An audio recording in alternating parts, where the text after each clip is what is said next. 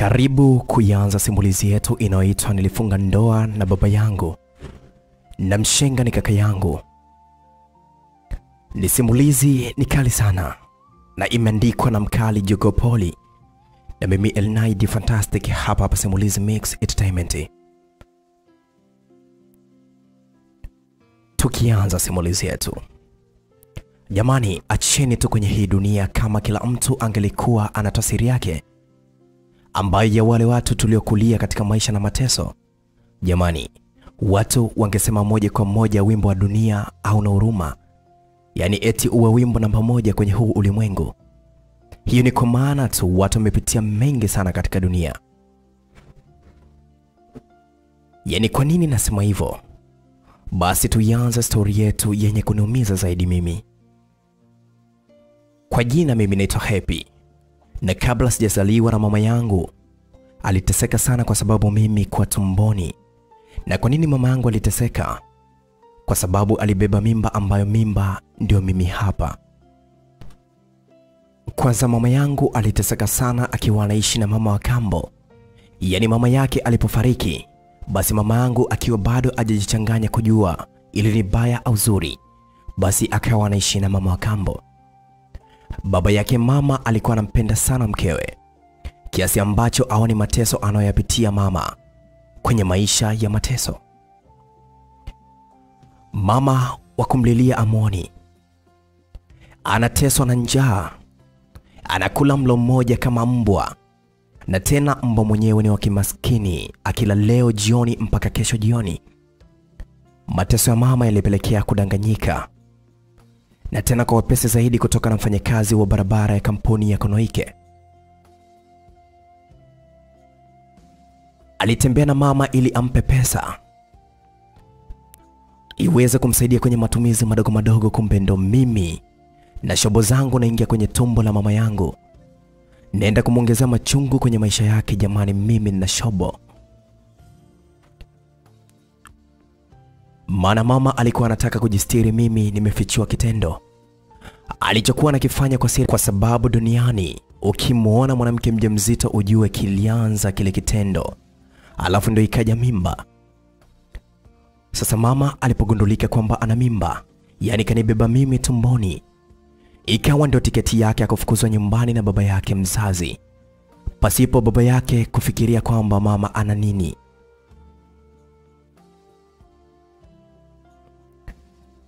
Mama yake mama kufikia anachochea moto kwenye ule ufukuzwaji wa mama, yaani anasema aondoke hapa. Haiwezekani, haiwezekani kwamba atutie aibu mume wangu, tafadhali aondoke.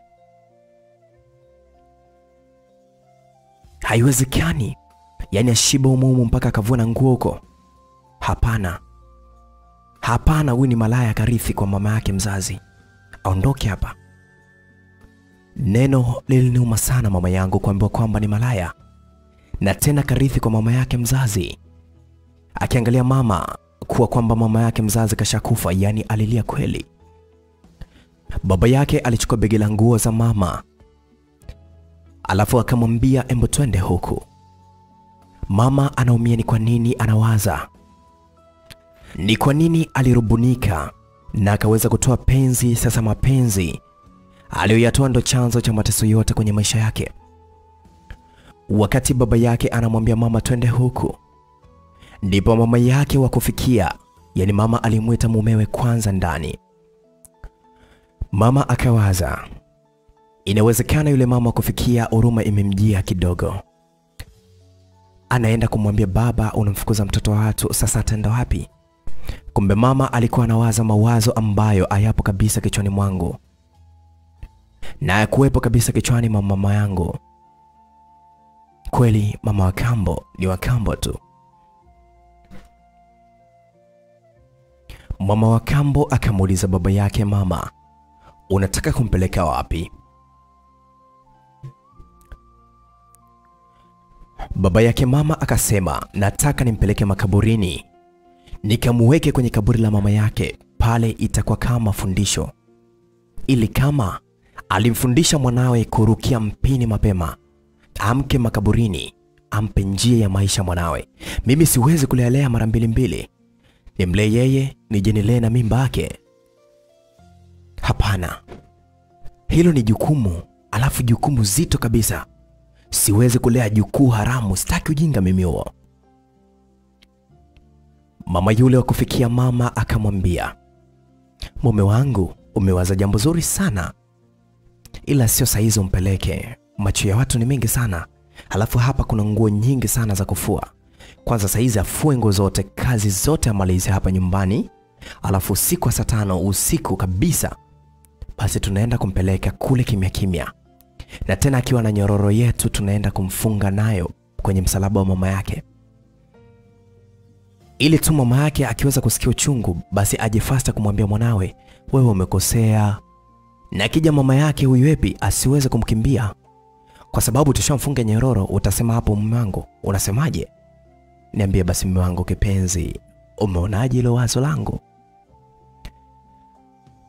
Baba yake mama akasema aipingwi, kamwanzishe kazi sasa hivi, na usimpe chakula ili mama yake akitoka kaburini akamtafutie chakula.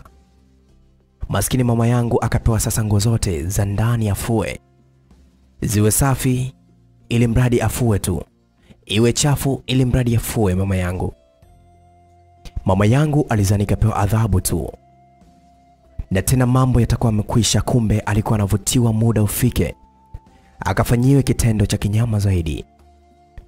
Mama alifua nguo zote akiwa na njaa yake awezi kuomba chakula kwa sababu kashazoea kula mlo mmoja kwa siku, na tena ni jioni tu.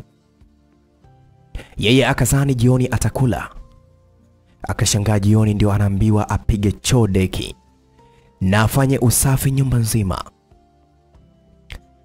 Mama anafanya moyoni, anajua kwamba akimaliza anakula analala. Sasa baba yake akamwambia wewe kaoge ubadilishe nguo nimekuletea. Mama anaenda kuoga kwa furaha, anaona amani imerudi, na kama alivyokuwa na marehemu mama yake mzazi. Baba yake ndio alikuwa na tabia ya kumnunulia nguo, sasa hivi mpaka mkewe aichoke nguo, basi ndio mama yangu apewe mpaka kanga. Mama ajawahi kuvaa kanga mpya tokea mama yake afariki. Sasa mama akaweza kushangaa tena anatoa macho aswa anapoambiwa na baba yake, aya, vaa nguo hii hapa. Mama anaona aibu, itakuwaje avae nguo mbele ya baba yake mzazi? Wakati mama anashangaa, alikuwa anatoka kuoga, yupo na tenge tu moja, na ikiwa na nguo ya ndani ipo kwenye kopo. Mama wa kufikia akalivuta lile tenge, akawa mtupu mbele ya baba yake mzazi. Mama wa kufikia akasema, na tena alizungumza maneno ya kuchoma sana moyo wa mama yangu. Anamwambia kwamba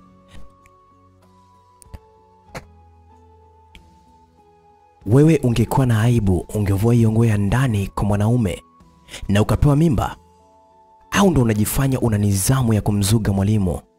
Angali kibompoli chako chenyewe kibaya, tazama nywele kibao, hakina hata mvuto. Hebu shika nguo ivae, ficha cho kibompoli chako kisije kunifanya mimi nikatapika bure mimi. Mama alichukua nguo kwa haraka, nia yake ajifunike japo kaonekana kibompoli na baba yake mzazi. Mama anashangaa nguo yenyewe ni sanda ile aliyopewa. Mama ajui kitu kijacho, aliweza kujifunga begani ile sanda, lakini fikra zake zilimfunga kabisa asitambue kitakachoenda kutokea hapo mbele. Ndani ajavaa kitu, unaambiwa ingia kwenye gari twende huko. Mama anaingia kwenye gari, kumbe anapelekwa makaburini, yaani kwenye kaburi la mama yake mzazi. Mama anafika makaburini, anapigwa nyororo shingoni, alafu anaunganishwa na msalaba wa mama yake. Nyororo inapigwa kufudi, alafu baba yake anasema akija mama yako mwambie funguo ataikuta kwenye begi la nguo zako, aje achukue na nguo zako mkaishote. Mama yangu alilia sana, akamwambia baba yake kwa huruma, na shingo akiwa ameweka pembeni, labda atamwona huruma. Anasema, baba, mimi ni mwanao, ninaomba unisamehe. Hapa sio sehemu nzuri ya kunifunga mimi. Nani ataweza kunisaidia mimi? Angalia juu baba yangu, mvua inataka kunyesha baba, na kuomba sana tafadhali baba. Baba yake akasema maneno na tena akamwambia, unapaswa kusema na mama yako ikiwa sisi tushaondoka hapa. Wewe hujawahi kusikia usemi kimwili atupo na wewe, ila malizia mwenyewe. Sasa mama yako anakuona, atakuja kukusaidia. Umenielewa? Baba yake na mama yake wakufikia, wakaondoka, wakamwacha mama peke yake makaburini. Huyo mama yake wakufikia anamwomba mumewe, yani baba yake, aweze kumshika mkono. Anaogopa mazingira yale, ila awazi kwamba aliyemwacha ni mtu aina gani, na vile vile wamemfunga na nyororo, wakaweza kumwacha. Wameondoka, mama yuko peke yake majira saa sita usiku, pakiwa makaburini. Nani atamwokoa mama?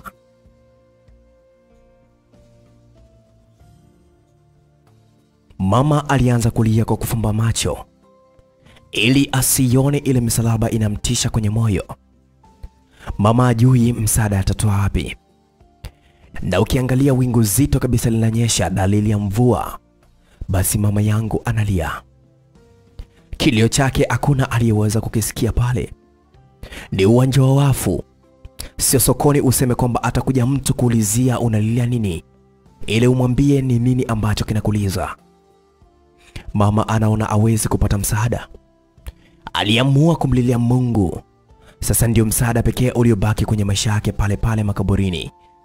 Na ukiangalia ni nyakati za usiku, majira saa sita usiku, na huku ukimwangalia mama yangu amevalishwa sanda na amefungwa mnyororo. Sasa kwa nguvu za Mungu na kikubwa sana, Mwenyezi Mungu anaweza akamtumia mtu yeyote yule na wewe hata usiyetarajia akawa ndo msaada wako katika maisha yako.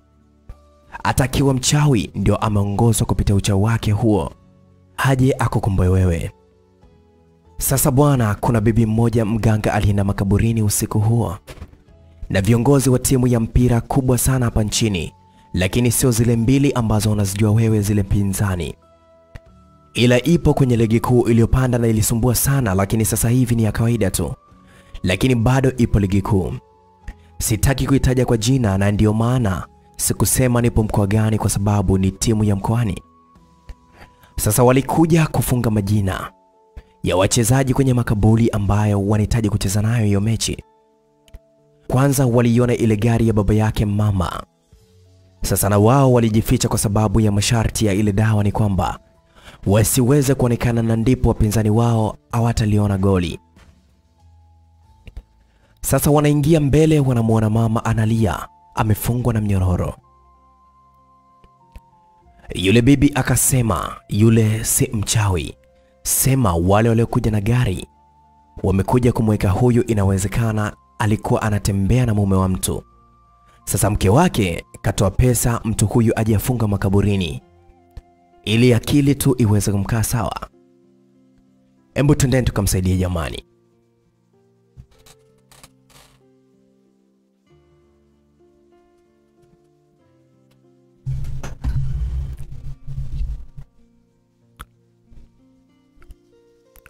Yaani bibi ametengeneza stori ya mwonekano wa mama pale pale alipomuona, na ndivyo tulivyo baadhi ya Watanzania wote, ni kwamba kutengeneza stori ya kupitia mwonekano.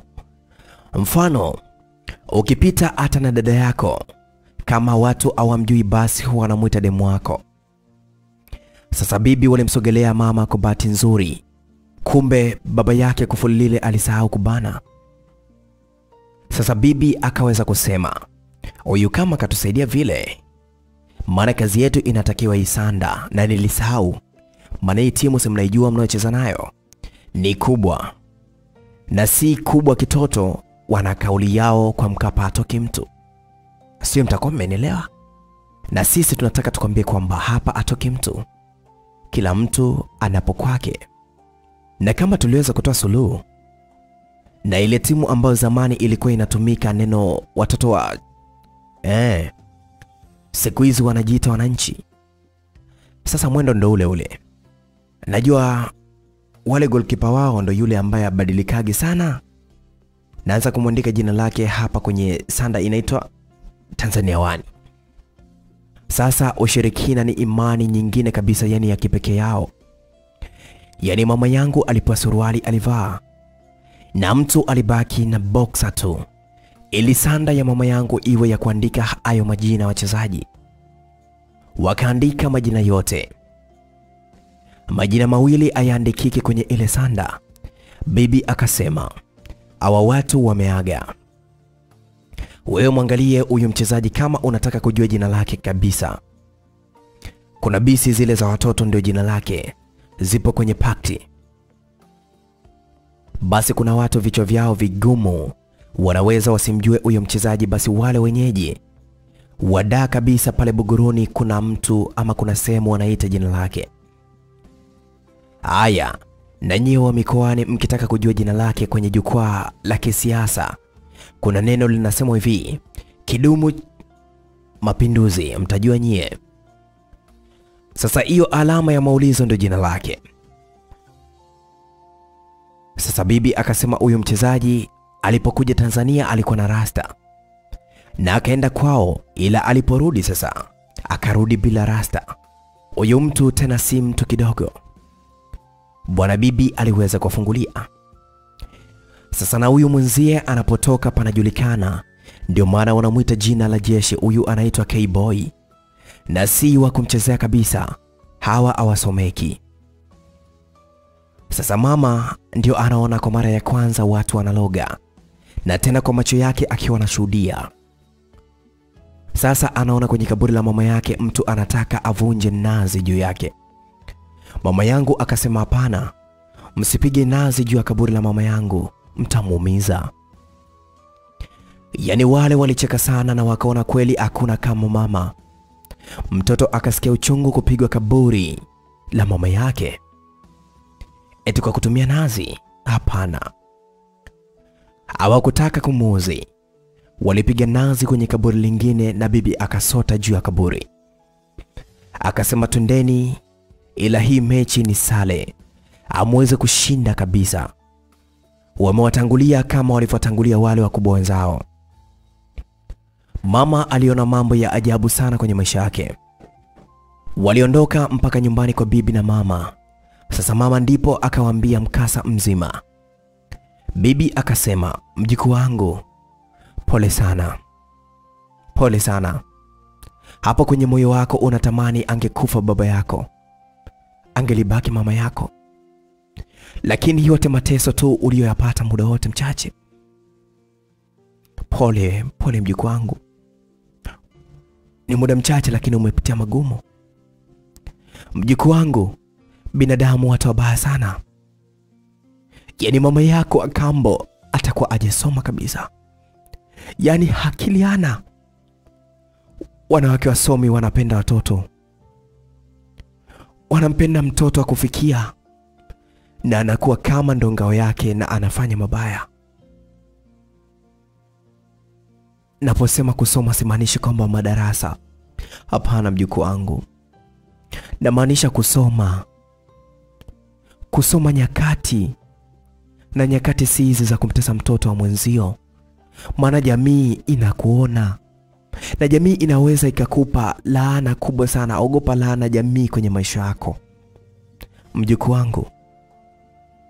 Kuna usemi unaosema ukiona kipofu amewasha tochi, sio kwa sababu yeye aone mbele, anamulika ili umuone, usimkanyage. Huu usemi una maana kubwa sana. Sasa naomba ondoa hofu, ondoa hofu maishani mwako. Kuna maisha mazuri yapo, itunze mimba yako, itunze mjukuu wangu.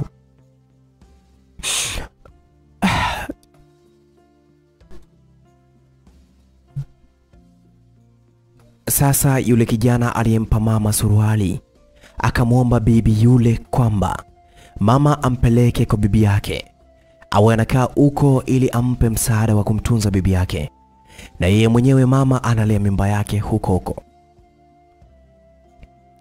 Mama anapata msaada sasa wa kwenda na mimba yake. Yaani mimi mzee wa Kerere naenda naye kwa huyo bibi mwingine kabisa. Upande wa baba yake mama, sasa wanafika kwao, wanakuta begi la mama alipo. Walishangaa sana kuona begi alipo, kumbe vibaka tu walipita nalo na tena wakahisi mauzauza. Wakawasha gari wakarudi makaburini, wanaona mama hayupo. Sasa wanaenda kuangalia ule msalaba wa mama, yaani kama umevunjwa ili kunifungulia mimi nyororo waliokuwa wamefunga. Sasa kumbe bibi yale majina wachezaji aliyoandika kwenye sanda anawapa tena kamati ya ufundi ile ili wakafukia yale majina. Sasa kamati ikamtuma mtu mmoja, ndio kazi yake, na tena ndio hizo hizo za kwenda kufukia vitu makaburini. Akachukua jembe yule mtu na ile sanda kaivaa, anaenda kuifukia.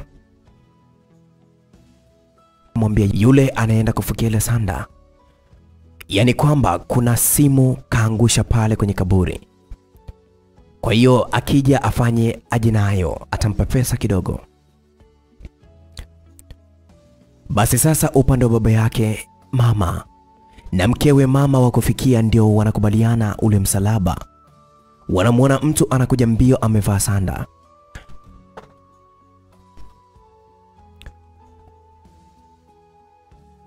Sasa walishikana mikono, mbona baba yake mama alimwachia mama wa kambo wa mama mkono, akaanza yeye kukimbia.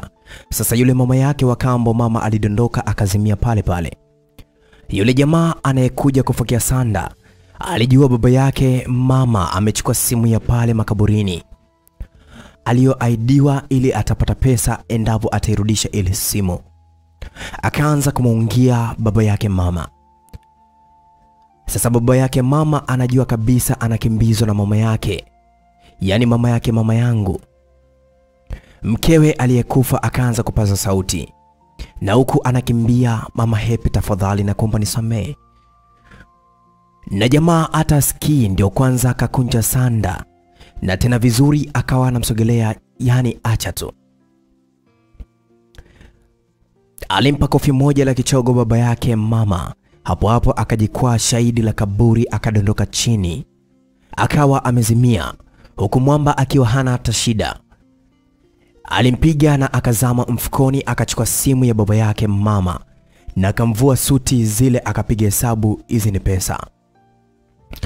Akaenda kwa mama wa kambo wa mama yangu mimi. Sasa alimvua nguo, akampelekea moto kwanza, yeye kazimia kwa hofu. Akabeba na nguo zake akamwacha kama alivyozaliwa. Akaenda pale alipoelekezwa kufukia, akafukia sanda ile alafu akaona sasa ile simu aliyoelekezwa, akaiona, akupata tabu ya kujua ni ipi kati ya simu ile ya baba yake mama au hii aliyoiokota jamaa. Aligundua fasta ni simu ya jamaa ina chata ya timu ya mkoani hapo, ambayo inacheza na timu kubwa kati ya zile mbili za Tanzania. Sasa alienda geto, akaenda kuweka suti ya baba yake mama na sketi na blausi ya mama yake wa kambo mama yangu. Sasa jamani, asubuhi mtaa ukalipuka. Kuna watu wapo kama walivyozaliwa makaburini, watu kibao wakajazana pale. Sasa wanaamshwa, wanakuta watu wamewazunguka, halafu wapo kama walivyozaliwa. Sasa yule kijana wa bibi akataka apate sehemu ya kupiga pesa, anajifanya kupandisha, anawaita wachawi na ndio chuma ulete wakubwa sokoni. Hawa bibi kaweka mitego makaburini wanapokuja kugawana pesa kwa bibi yetu kaweka mitego, amenasika. Jamani, jamaa akajisetia mipango yake na ya kiganga kabisa, kumbe anawakaanga mazima. Wananchi wale waliofilisika wakasema pisheni tuaue. Jamani, walipigika. Bahati nzuri defender iliwahi kuokoa uhai wao kwa kile kipigo, kwani wamekipata sana. Wananchi walienda kwenye nyumba ya baba yake na mama wakaipiga moto, hawataki wachawi kwenye ule mji. Sasa ndio wanaona dhambi zao zinawasubu wenyewe. Na sasa upande wa mama alienda kwa yule kijana mpaka kwa bibi yake.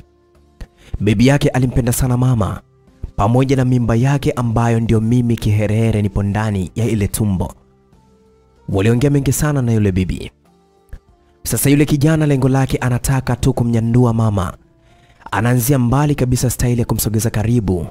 Alimwambia twende huko, kuna semina ya mapishi, embo twende ukajua maajabu ya mapishi. Mama ajui kama jamaa anamtamani. Wakaenda naye kwenye semina mapishi na mambo ya kuelimisha mambo mawili matatu ya kidunia. Sasa mama alifika pale akakuta watu wapo wengi sana.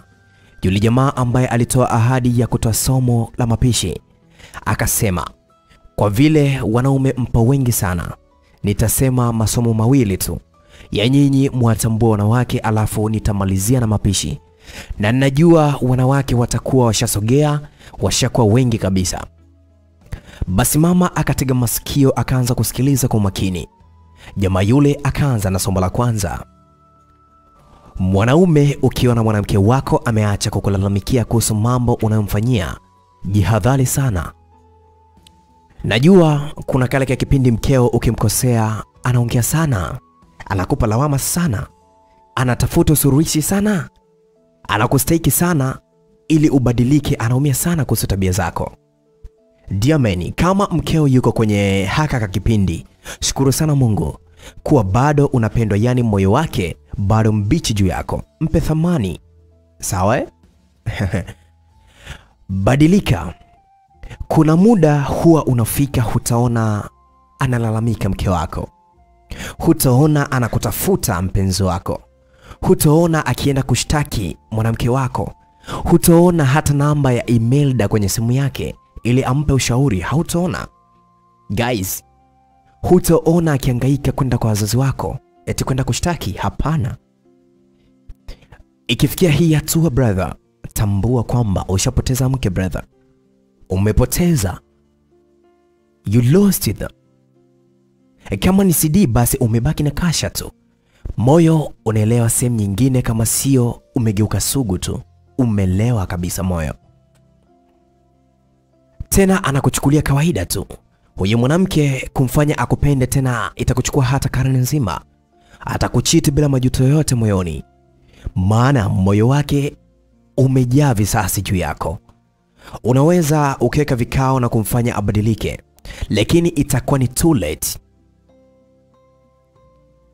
Jua tu kwamba mwanamke dhaifu sana akipenda, ila ni jasiri sana kama akichoka kuumia. Mimi nakukumbusha kitu kimoja tu, huyo mkeo unayempelekesha kama guta, kuna siku hutaamini kama amekuwa roketi. Ndio utajua kwa supu ni mboga ama kipasha tumbo. na, na kama hauamini basi endelea kukengeuka tu, ipo siku utanielewa namaanisha nini Elnai mimi hapa. Badilika na acha mazoea katika mahusiano. Utakuja kushtuka ukiwa umeshachelewa, na ukitaka kuenjoy, yani uenjoy katika mapenzi yako, kuwa naye we mpende tu, na tena mjali sana wife. Mweke kipaumbele chako mwanamke wako, mheshimu, msifie mpenzi wako, mpe zawadi, ndio atazidi kukupenda, kwa maana vile unavyomfanyia mazuri, naye atataka kukulipa wema wako unaomfanyia. Ila ukiona kama na kudanganya endelea kumfanyia mabaya tu, alafu siku ya yeye aje aamue sasa kukurudishia mpira kwa kipa, ndipo pale utakapojua kwamba maharage sio mboga, bali ni kiungo cha kande. Mama akaona kumbe hii semina ni nzuri, wanaambiana mambo mengi sana mazuri ya kuelimishana. Jamaa akaenda kwenye somo lingine ambalo ni hili hapa. Sio kosa lako dada, ni somo moja kubwa sana katika semina. Basi alianza kusema kwamba mwanzo ulikuwa ni dada unejeshimu na mwenye ndoto nyingi sana katika maisha na mahusiano. Ulikuwa na ndoto ya kuwa na mwanaume wako wa kwanza kukutana naye kimwili, ndiye atakayeishi na wewe. Ulijitunza ili uje uwe mke bora sana ama mama bora, lakini mpaka sasa hivi ushadeti na wanaume zaidi ya 15 ila hakuna aliyekuoa. Wapo waliokaribia kukuoa kisha wakakuacha. Yupo aliyekutambulisha kwa wazazi wake lakini baadaye alikuacha. uh, umekata tamaa, umewachukia wanaume, umeyachukia mahusiano, Kilichobaki unawaza tu pesa, hufikirii tena kuumiza akili na moyo wako eti kumpenda mtu. No, unachokipenda wewe ni pesa tu. Uh, awe mkubwa awe mdogo, wewe haujali, kikubwa awe na pesa tu. Umekuwa na jina baya sana, nawe kuna muda unajichukulia, ila unaona acha tu iendelee. Utafanyaje? Pamoja na yote hayo, sio kosa lako, ni kosa la mwanaume wa kwanza kabisa kukuonjesha karaha katika mahusiano na kukufanya ulie kila mara. Siwezi kukulaumu kwa tabia yako ya kupenda pesa, ila mwanaume msaliti aliyekufundisha tu toka siku ya kwanza uliodeti naye, na ndo huyo aliyekuonyesha kuwa wanaume wote wabaya. Nadhani tunaelewana, sio? Ehe, siwezi kukulaumu kutuchukia wanaume, yaani kwamba eti uone wote wana moyo wako ama wana moyo wote sawa. Yaani tuseme kwamba moyo wako una majeraha mengi, siwezi kukuchukia mimi. Hutaki kusikia kuhusu mahusiano, siwezi kukuingilia. Eti ulipewa mimba na kisha ukatelekezwa, siwezi kukuchukia, ni maamuzi yako. Na tena huwezi jua maamuzi yenyewe yalikuwa ni magumu na uliyapitia, siwezi kuingilia. Ila naamini na ninaomba siku moja urudi kuwa mwema kama mwanzo, na bado unao muda. Natambua saizi magonjwa ni mengi sana. Kuna muda unaweza hisi kwamba unamkomoa mtu, kumbe unajikomoa wewe mwenyewe. Dada, usikate tamaa, na rehema za Mwenyezi Mungu. Tulia, tulia, sali na kuhakikishia, ukitulia utapata tu mwanaume bora. Na kumbuka, kuna wanaume wengi sana huhitaji mke bora, na tena mke mcha Mungu. Huenda ukawa wewe. Huwezi kutumikisha mwili wako kingono maisha yako yote kisa eti upate pesa. Hilo jambo haliwezekani. Achana na upuzi wanaosema kwamba wanaume wote wana tabia zao zinafanana. Acha. na ndio maana mtu anatumia pombe na bangi, yule hatumii kitu hata kimoja au vyote kabisa hatumii.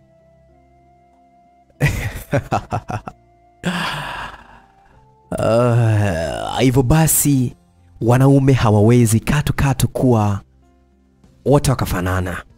Yupo atakaye kuja kukufuta machozi siku moja. Tafadhali cool down. Halo, wote waliitikia halo. Bado wewe mrembo utapendwa tu, alafu aliyekutenda siku atatamani akurudie, ila atakuwa tayari ameshachelewa. Jamani guys, kila jambo na wakati wake. Itafika wakati wa mtu atapokea kile kijiti na atakikimbiza mbele. Usikate tamaa. Msikate tamaa, wanawake, wakina mama, wasichana, mabinti wazuri, msikate tamaa. Oh. Mama akashusha pumzi akasema, da, kuna mambo mengi sana jamaa akaja kuyasema katika semina, na tena aliyoyakusudia sasa ni mapishi. Ni kweli ameenjoy mama akisubiria kipindi cha mapishi. Sasa aliingia katika sekta ya mapishi. Alisema, nataka leo niwape siri moja katika mapishi. Chukua karatasi yako na peni, wewe mama, na kama baba basi na wewe chukua hata peni na karatasi, itakusaidia ama utampelekea mkeo nyumbani. Ndio upendo wenyewe. Unapotengeneza kitu basi tegemea matokeo. Mama yeye akawa anasikiliza sana, anaona watu wote wapo bize sana na karatasi na peni. Jamaa akaanza kusema dondoo za jikoni. Cha kwanza kabisa, ukiandaa nyama kwa viungo kama tangawizi, thomu na masala, ongeza mafuta kidogo na mtindi vijiko viwili tu, utafurahi. Lakini la pili, mwanamke, ukikosa vanila unaweza saga ganda la limao bichi kabisa na likaleta harufu nzuri sana kwenye keki na chapati za maji. Lakini la tatu, mpenzi, ni kwamba ukipika mboga ya karanga, tumia maziwa na korogea karanga badala ya maji, inanoga sana.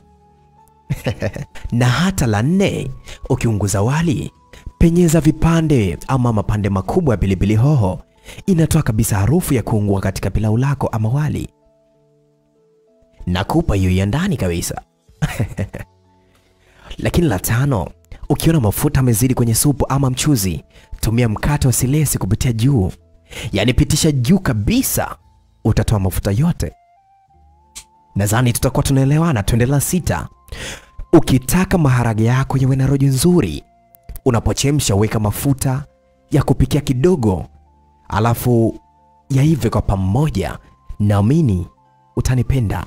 Lakini tuendelea saba ni kwamba ukitengeneza juisi ya rozela ama ubuyu, chemshia pamoja na mchaichai, inakuwa nzuri sana na testi yake utaenjoy. Lakini nane, chapati ikilala na ukitaka kuipasha iwe laini, ichovya kwenye maji baridi kabisa na uipashe bila hata mafuta, itakuwa kama ndio kwanza umepika muda huo. Na tisa, ukipika matembele, jaribu kuweka tangawizi na pilipili manga, utajionea maajabu. La kumi, ukitaka samaki wabichi wasivurugike ama kuwakaangia kwenye chuma ama sufuria, unapowakaanga basi, embu tengenezea rojo ya ngano, wachovye pia, huwa ni watamu sana, hawataungua na wataleta ladha tamu. La kumi na moja, ukitaka utumbo wako uive vizuri kwa haraka, weka limao bila ya chumvi kwa yale maji ya kwanza kabisa.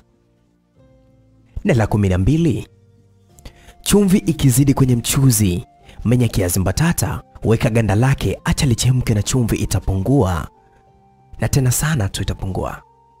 Lakini la kumi na tatu pia guys, maharage ukitaka yawive kwa upesi, weka kijiko kimoja cha baking powder, nakupa hiyo. La kumi na nne mchuzi ukitaka uwe na rojo nzito na huna nyanya za kutosha, basi koroga kijiko kimoja cha unga wa ngano, weka na acha uchemke. kumi na tano ni kwamba mogo ukiwa cherema, weka kijiko kimoja tu cha baking powder. Nadhani nawapa nyingi sana ambalo mlikuwa hamuelewi, nawapa za ndani kabisa. Ni kwamba la 16 nyama ikiwa ngumu kabisa au ukitaka ilainike vizuri, kwangulia papai bichi. Na la 17 karoti zikisinyaa kwa kukaa muda mrefu, ziweke kwenye maji baridi kwa nusu saa tu, zitakuwa kama zimetoka shamba. La 18 kama unatumia jiko la gesi kupikia, basi tumia maji ya baridi kupikia wali, utaona mambo. La 19 ni kwamba ukiungua wali kwa mara nyingine, kata kitunguu maji nusu, kiweke katikati, basi harufu ya kuungua hutaweka kabisa. Hizo nilizowapa ni kama njia tu 19 ambazo ni chache, tutaendeleaga na siku nyingine ambazo zinahusiana kabisa katika mambo ya mapishi. Nadhani mmeenjoy sana na ipo siku nyingine tutaendelea vizuri kabisa. Sasa ndio semina inaishia, anasikia kuna wachawi wamekamatwa makaburini. Jamani, yani watu wameenda kuchoma moto nyumbao. Sasa mama yangu kachungulia kwenye simu ya mtu wa taarifa, anaona na yeye utupu wa baba yake mzazi na mama yake wa kambo wakiwa wamelala chini kabisa wakiwa uchi. Mama hakutaka tena kuangalia, akawa anarudi nyumbani na yule kijana kwa bibi yake. Mama akaenda kulala kwenye chumba chake alichokipewa na bibi. Yule kijana saa nane usiku alikuja juu ya dari mpaka kwenye chumba alicholala mama yangu, na jamaa anajua kwamba mama atakuwa amelala peke yake na mlango kaufunga. Kwa hiyo jamaa akajua kwamba kalala peke yake na mlango ameufunga, basi akawa anavua nguo, yani kama alivyozaliwa kwa sababu ya joto. Jamani, jamaa yule akapanda kitandani. Sasa lengo lake amnyandue mama yangu mimi. Mama kalala na msongo wa mawazo juu ya mimba yake, na aliyempa mimba ajui na ajui ataweza kumpataje, kwa sababu ni fundi tu wa Konoike na washamaliza kutengeneza barabara, washaondoka. Sasa jamaa akaweza kumtanua mama yangu miguu. Mama amelala ajui kitu chochote, Jamaa akapiga hesabu, hapa nikimchezea akiamka anaweza akastuka na kelele, alafu bibi akisikia basi atanigombeza. Jamaa akajiongeza kwa staili ya nguvu ya shetani. Alitemea mate katika kiganja chake cha mkono, nia yake aweke kilainishi cha asili kwenye kibompoli cha mama. Ili tu imsindikizie na yeye imsaidie kwa lengo lake la kumpelekea moto ili itimie, na akawa anajua kwamba hata ikiweza kuingia basi mama ataikatikia tu. Sasa mama, sijui nani aliwahi kumtukana mama yake, akawa anaota huku anaweweseka, yaani anasema sawa, mimi nina ukimwi na mama ndiyo kaniambukiza. Sawa, nashukuru, si nimeambukizwa na mama yangu, poa. Jamaa yule yale mate si alikuwa amepeleka kwenye kibompoli, mkono ulikata kona, yaani kusikia mama anaongea kwenye usingizi, na tena anaota anasema yeye ni mwathirika, ana ukimwi. Zoezi lile lilishia hapo hapo, akarudi chumbani kwake kimya kimya. Asubuhi sana mama akaamka, ana hili wala lile, anaendelea na kazi yake kama kawaida. Akutaka kujua baba yake na mama yake wa kambo kwamba kiliendelea nini kwenye maisha yao baada ya kuhisiwa ni wachawi na nyumba yao ilimalizwa na watu wenye asira kali. Mama alimwambia yule jamaa waende tena kwenye lile kongamano, kuna vitu vizuri sana vya kujifunza. Jamaa yeye ni sehemu ya stare yake, kwa hiyo akumbishia, wakaenda mpaka kule kwenye kongamano, yani semina. Siku hiyo mwalimu yule akasema maneno ambayo alimjibu mwanamke asiyekuwa na shukrani. Alituambia kwamba tusikilize kwa makini. Dada mmoja alinipigia simu na kabla sijamuuliza sababu, alianza kunieleza matatizo ya mume wake kabisa. Alinielezea mambo mengi sana ambayo mwanaume wake alikuwa akimfanyia. Nilimsikiliza sana, lakini kwa namna alivyokuwa anaongea nilihisi kuna kitu, na niliamua kumsikiliza mpaka mwisho, ambapo aliniambia, kaka, mimi nimeamua kuondoka, huyu si mwanaume wa kuishi naye. Baada ya kumaliza kuongea, nilimwambia sasa, hebu niambie mazuri ya mume wako. Alikaa kimya kwa muda, alafu kisha akaniambia, mimi sikukupigia ili kumzungumzia yeye, nilitaka tu unipe ushauri kuwa niondokaje, maana nimechoka. Niliendelea kumsisitiza kwamba aniambie angalau zuri moja la mume wake. Aliniambia zuri ni kwa kuwa tu labda anamsomesha mdogo wake sekondari, lakini hakuna kingine. Nilimwambia wala sihitaji mengi sana, hilo moja tu linatosha. Nilimuuliza, unasema kwamba mume wako hakujali na hajawahi kukununulia nguo hata siku moja au kukutoa auti kama wanawake wengine? Akanijibu ndio. Nikamuuliza mshahara wake ni shingapi? Akaniambia ni kama laki saba kwa mwezi. Nikamuuliza chakula anatoa? Akaniambia ndio. Nikamuuliza kodi ya nyumba kwa mwezi analipa shilingi ngapi? Akaniambia laki moja na nusu. Kwa mwaka ni shilingi ngapi? Akanijibu ni milioni moja na laki nane. Nikamuuliza umeme na maji analipa nani? Kanijibu mume wangu ndio analipa. Nikamuuliza tena kwa mwezi vinaweza fika shingapi? Akasema kama elfu ishirini. Nikamuuliza kwa mwaka ikaja laki mbili na arobaini ukichanganya na kodi ni kama milioni mbili. Nikamuuliza ada ya mdogo wako ni kama shingapi? Akaniambia ni private, ni kama milioni tatu na laki tano kwa mwaka. Nikamwambia ukichanganya na zile milioni mbili unapata shingapi? Tukapiga mahesabu ikaja kama milioni tano na laki tano. Nikamuuliza kwa siku chakula anakuachiaga shingapi? Akaniambia elfu kumi. Kwa mwezi ni kama shingapi? Laki tatu. Kwa mwaka ni kama milioni tatu na laki sita. Hmm. Nikamwambia ehe, ukijumlisha na zile tano inakuja kama ngapi? Tukakuta inakuja kama milioni tisa na laki moja.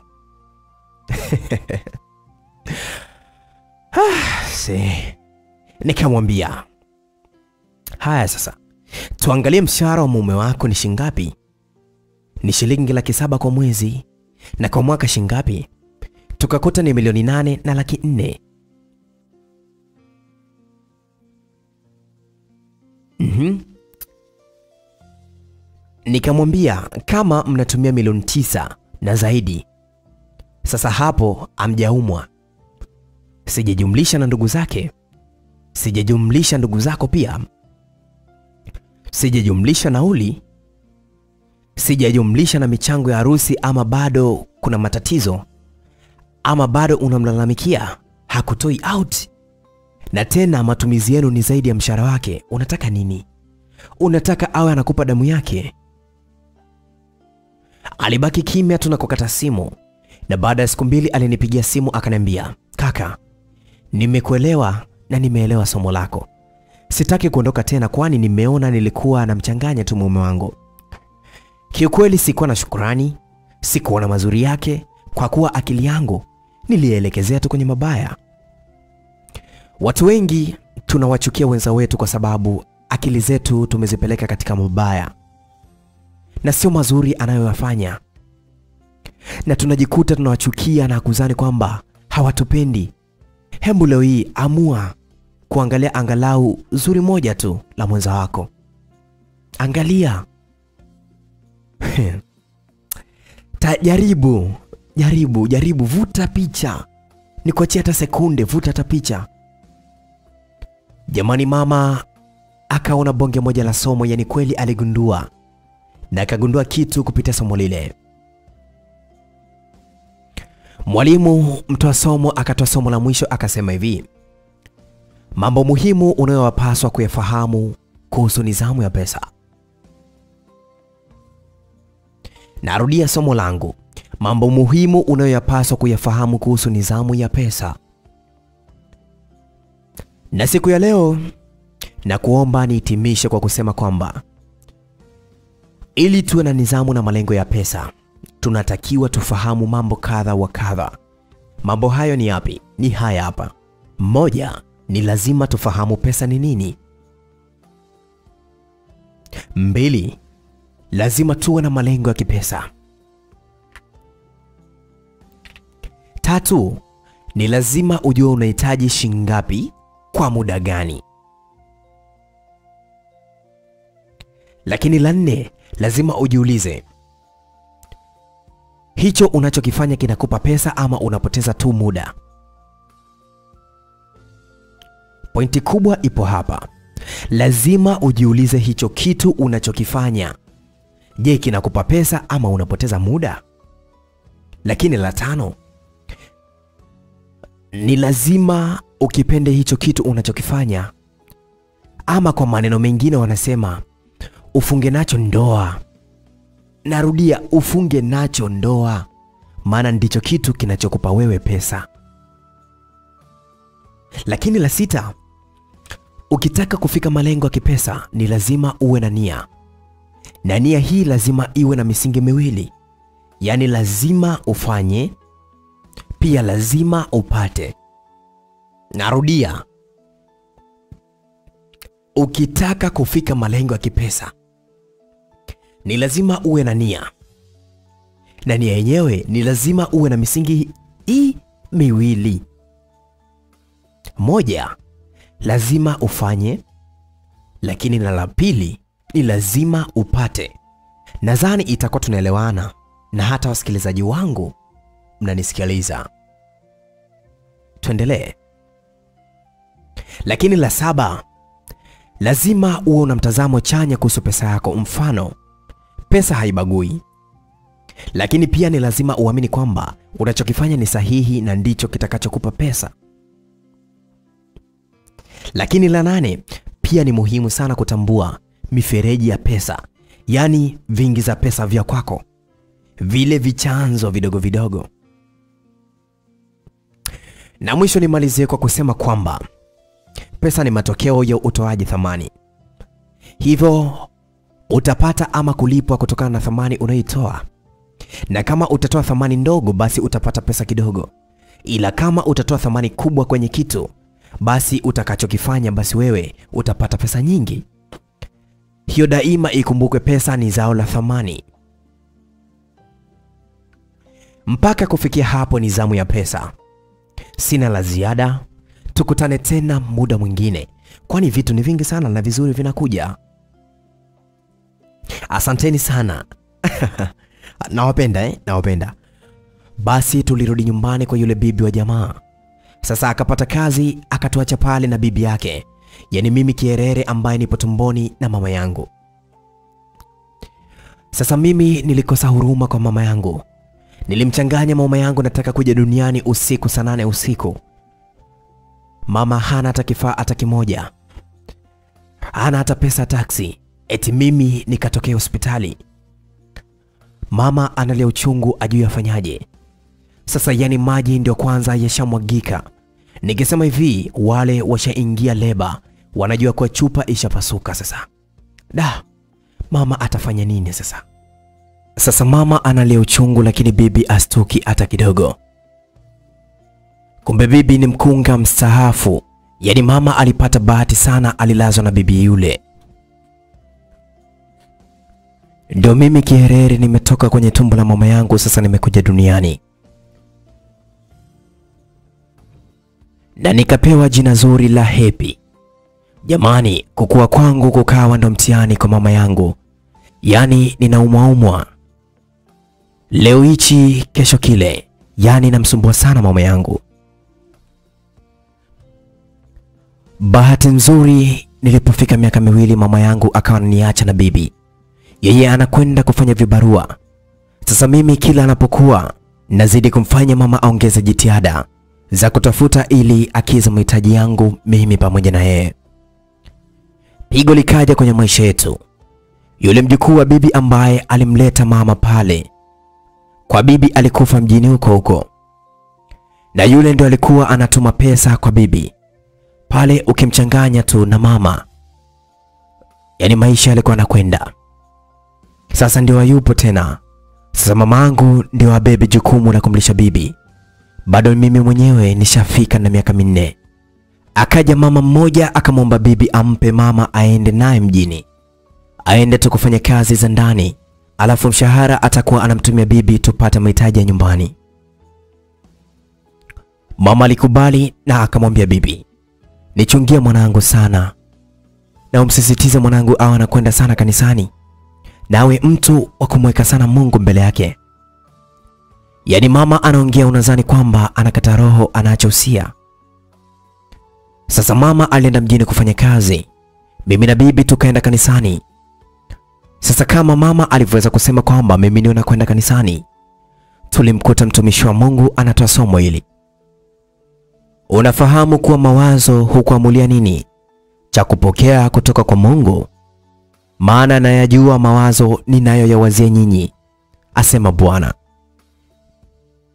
ni mawazo ya amani wala si mabaya, kuwapa nyinyi tumaini siku zenu za mwisho. Yeremia 29:11. Kuna umuhimu mkubwa wa kuhakikisha kwamba unakuwa na mawazo sahihi juu ya Bwana ili kufanikisha maombi ya kile kitu ambacho unahitaji Bwana akutendee. Mawazo ni picha za moyoni. Picha hizo zina nguvu kubwa sana kuamua hatima yako. Mawazo sahihi juu ya Mungu ni mazingira wezeshi ya Mungu kutenda katika maisha yako. Mithali 23:7 inasema, maana aonavyo nafsini mwake ndivyo alivyo. Hii inatuaminisha kwamba mtu ni zao la mawazo tu au fikra zake. Jinsi unavyoona moyoni mwako, basi ndivyo utakavyokuwa. Hivyo mawazo ni eneo muhimu sana ambalo unapaswa kulidhibiti ili kuhakikisha unapokea kutoka kwa Mungu. Unapaswa kujua mawazo ambayo Mungu anatuazia ni mawazo ya amani wala si mabaya. Na tena tukiangalia tafsiri nyingine ni kwamba au mstari wetu wa ufunguzi hapo juu unasema, kwa maana ninajua mipango niliyonayo kwa ajili yenu, asema Bwana, ni mipango ya kufanikisha na wala si mipango ya kuzuru, ni mipango ya kuwapa tumaini katika siku zijazo. Ukisoma Yeremia 29 mstari wa 11 tafsiri ya Biblia, Mungu anakuanzia mawazo ya kukufanikisha, kukustawisha na kukubariki. Hakuna baya uliolipitia ambalo ni Mungu anataka ulipitie, kama wengi ambavyo waza kuwaza kwa namna ambavyo ni matokeo udanganyifu wa shetani kabisa. Soma wa Korinto 2:2:11.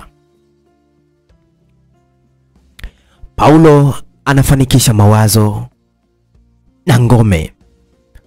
Hiyo hiyo wa Korinto 2 10 4 hadi 5. Soma. Kama ujuavyo, ngome ni eneo la kimkakati kwa ajili ya kuratibu mashambulizi. Paulo anafananisha hivyo kwa sababu uwanja wa mapambano kati yako na shetani ni mawazo. Ni katika mawazo. Mawazo hutangulia kabla mwili kufika.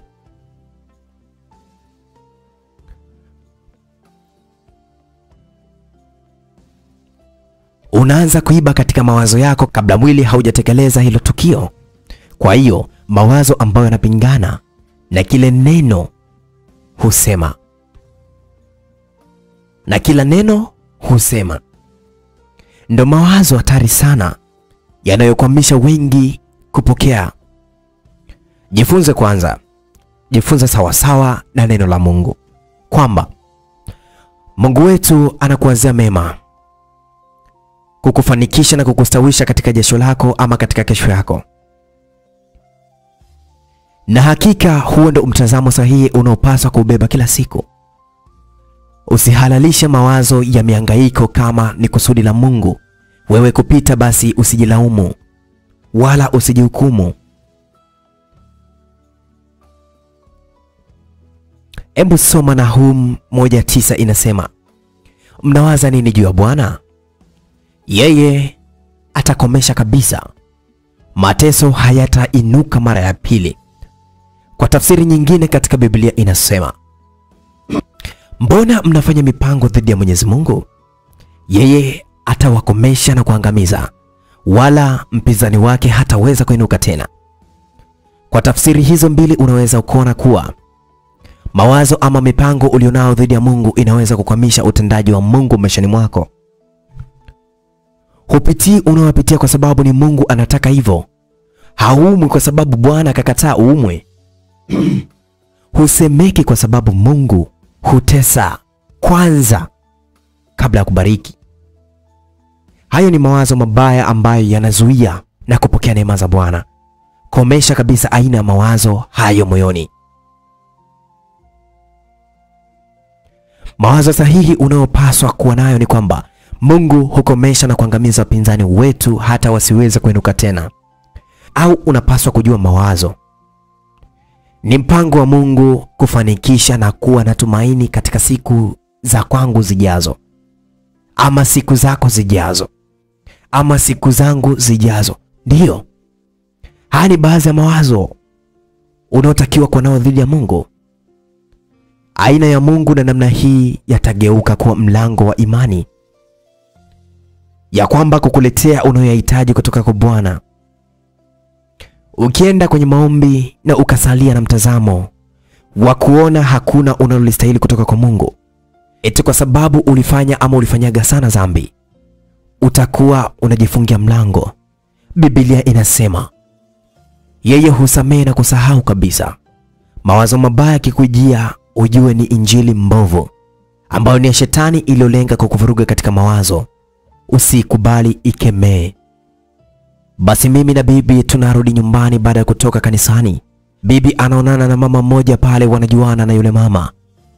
Alinishika kichwani mwangu akaniambia maneno haya, mwanangu, usisahau sheria yangu, bali moyo wako uzishike amri zangu, maana zitakuongeza wingi wa siku na miaka ya uzima pamoja na amani. Mtegemee Bwana kwa moyo wako wote, wala usitegemee akili zako mwenyewe. Katika njia zako zote mkiri yeye, yeye atanyoosha mapito yako. Ondoa mguu wako maovuni. Alafu akaniacha kichwa changu, wakawa wanapiga stori na bibi kwa kilugha, tena mimi hata nilikuwa sijui. Upande wa mama, kumbe mjini kazi yenyewe aliambiwa ameletwa kwa sababu ya kuuzwa mama yangu aliwekwa chini akaanza kupewa somo. Akaanza kutajiwa majina wanawake maarufu kama wanne hivi. Si vizuri kuwataja majina, ila aliulizwa mama, je, umeona wameolewa? Mama akasema inawezekana bahati haikuwa yao. Yule mama akamtaja msanii mmoja wa zamani alikuwa ni Miss Tanzania. Akamuuliza yule ana kasoro gani asiweze kuolewa? Wewe unajua mabwana zake wangapi? Acha mimi nikutajie mmoja aliyekufa. Walio hai utawataja wewe. Na kutajia marehemu Kanumba alishawahi kwa mpenzi wake kabla ajawa na huyu msanii ambaye ukitaja ni timu mbili kubwa Tanzania, wapinzani tena timu moja ndio jina lake. Mama akawa anatafuta ni nani mwenye timu hapa. Kajua hakuna msanii anaitwa Yanga ila kwenye huyu mwanamke ndio ajajua. Yule mwanamama akasema, wewe kaa ujue, mafumbo hapa ni mjini, usimtaje mtu jina kwenye mfano. Mifano sometimes si mizuri kuigwa kama ujui mafumbo. Sasa nasema hivi, sasa nasema useme wa Swahili wenye huo usemi ndio kuna jina lake. Usemi huo unasema tenda wema uende zako. Utajua mwenyewe katika hapo utachukua jina lipi. Mama akacheka sana, maana hapo sasa kashajua nani yule bosi wake alikuwa anamkusudia. Sasa mama akaambiwa atakuwa kama yeye kama akiweza kumfatisha matakwa yake. Mama kabla hajakubali vizuri, akapewa nguo fupi akavaa mama, akaweza kupeleka kwenye dangulo akajiuze. Kumbe mama anasema akifika huko kwenye dangulo lazima atoroke aweze kujiuza. Sasa mama kweli alitoroka kwenye dangulo lile. Sasa mama ana nguo fupi, mule walikuja na bajaji. Sasa mama alivyotoka vile, wauni walimkamata mama yangu wakisema huyu atakuwa kamwibia mwanaume mwenzetu. Sasa anakimbia, sasa kakimbia mwanaume mmoja anaenda kupigwa mtungo na wanaume kumi na moja. Walizungumza wale wa jamaa. Mama yangu alipelekwa geto na wauni nia wambake. Mama yangu akafika geto, akaonyeshwa kisu, akaambiwa avue yeye mwenyewe tungo zote ili watu waweze kumwingilia mama yangu. Jamani, mama yangu ana hili wala lile, ana la kufanya.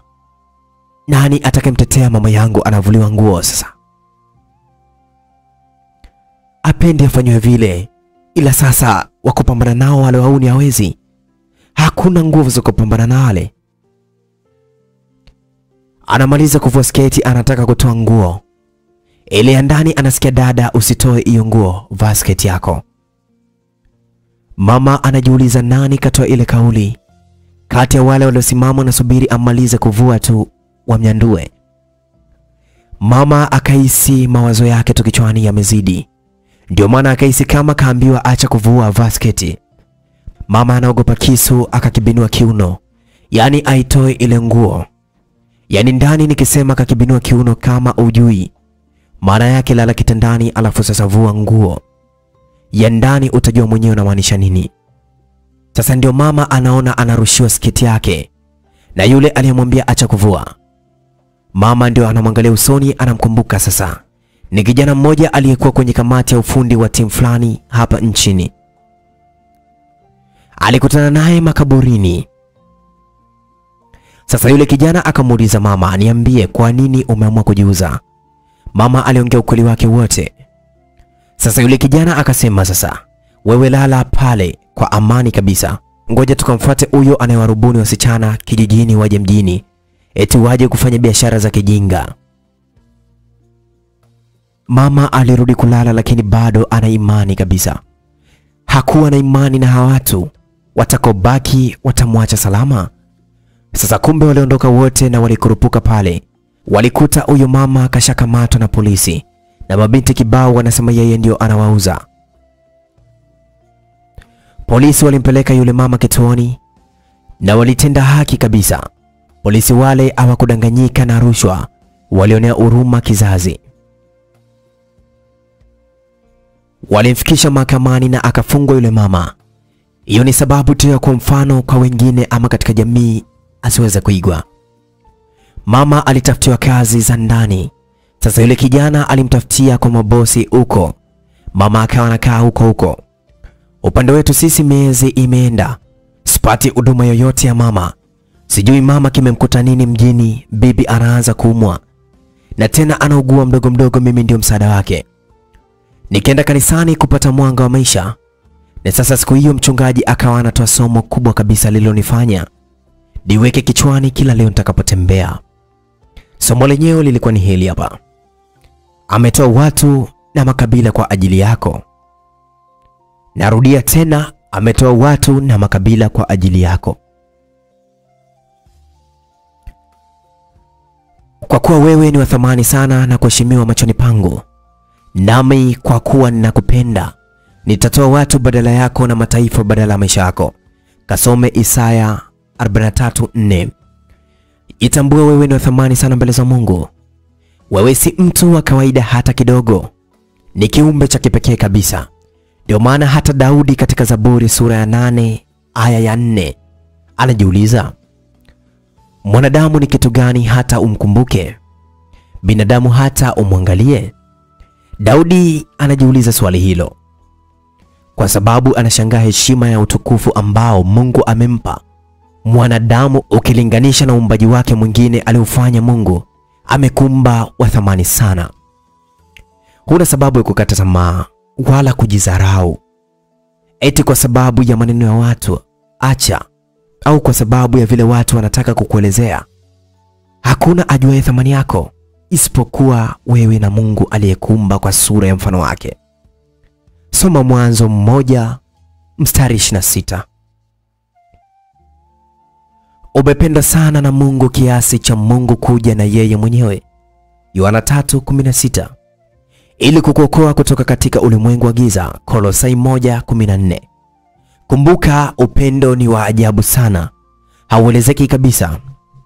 Mungu anasema amekuchora katika viganja vya mikono yake, Isaya 49:16. Kwa sababu tu anakupenda na uwa thamani sana mbele yake. Upendo huu wa Mungu umemsababisha akufanye wa pekee. Kwa sababu hiyo, anaamua kutoa watu na kabila za watu kwa ajili ya maisha yako.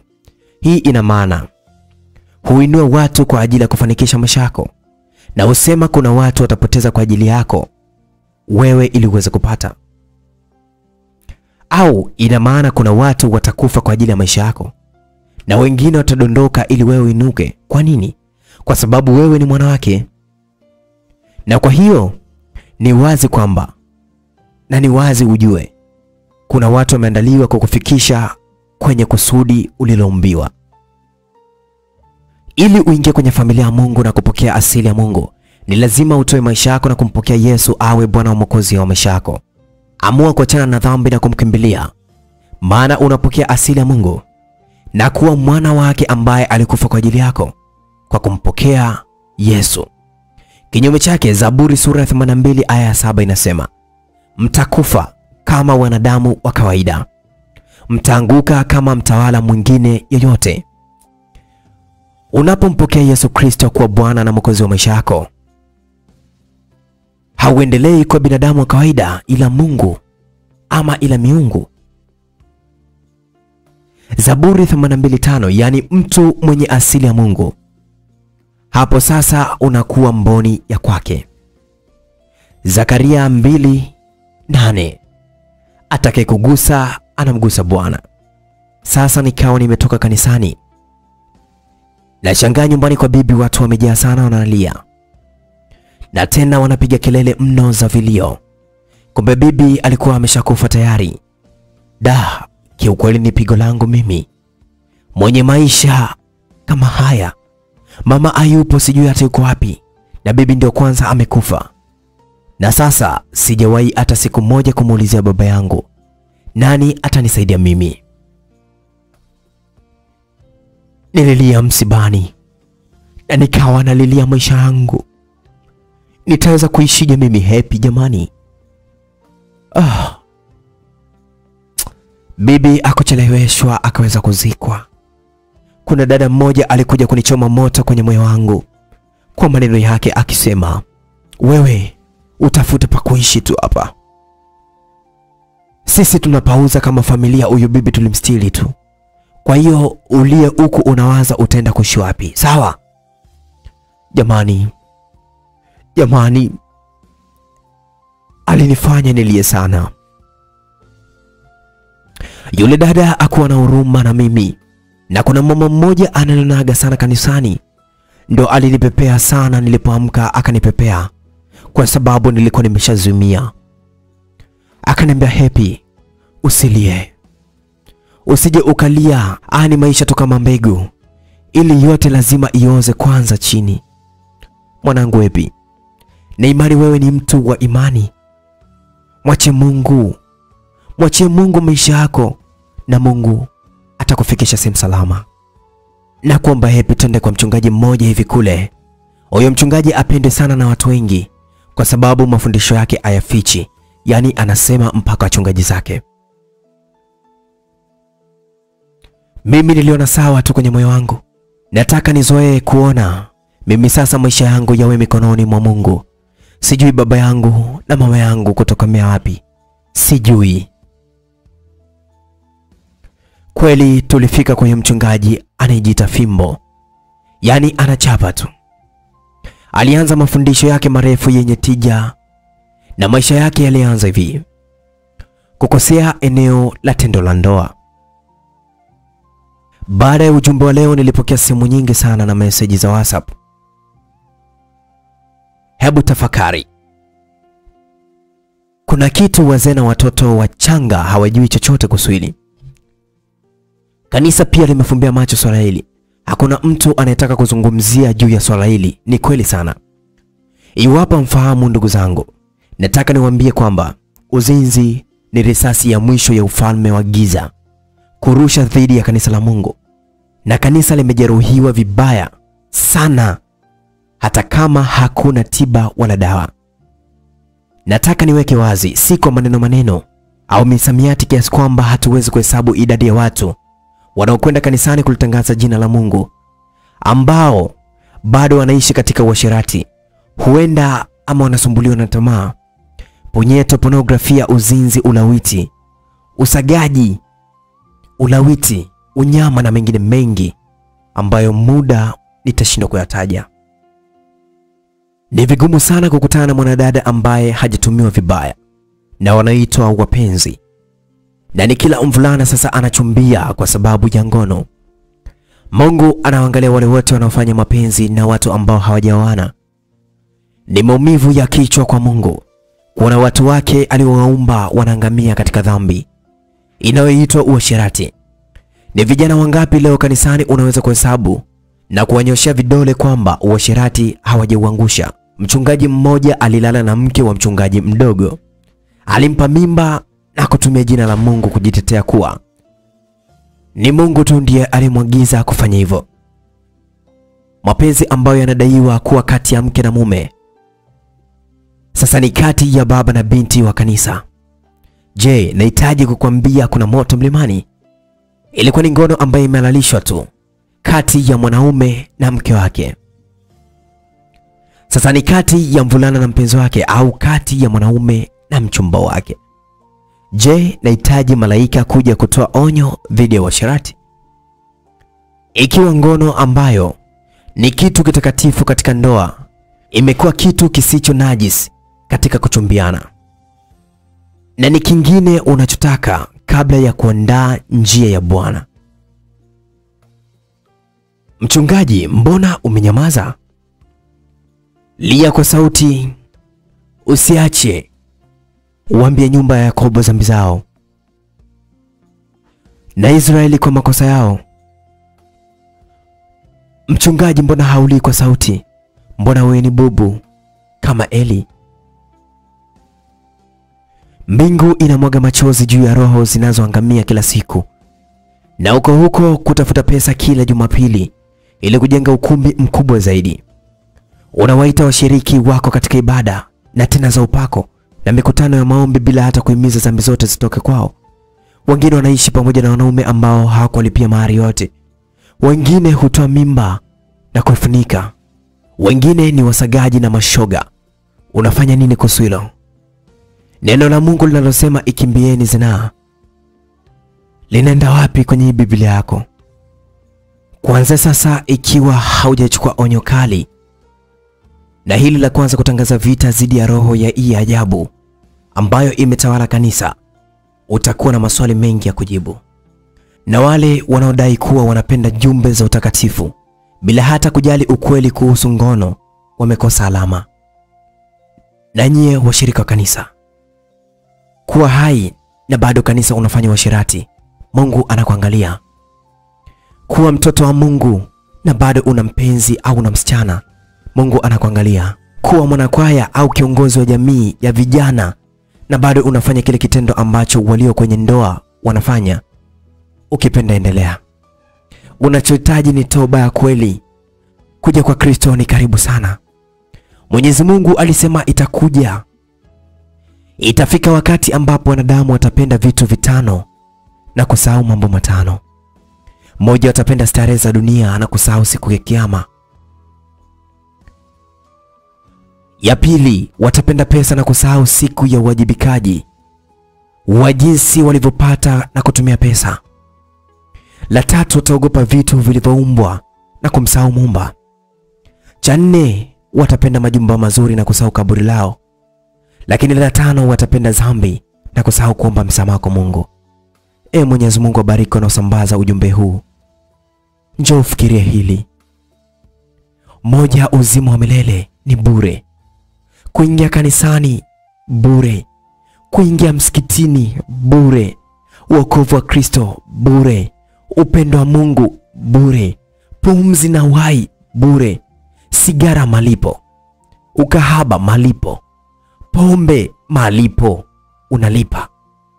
Ada ya kiingilio ya klabu ya usiku lipa kwanza. Mamlaka kutawala dunia ni malipo. Alafu kwa nini watu wanalipia kuzimu huko peponi ni bure?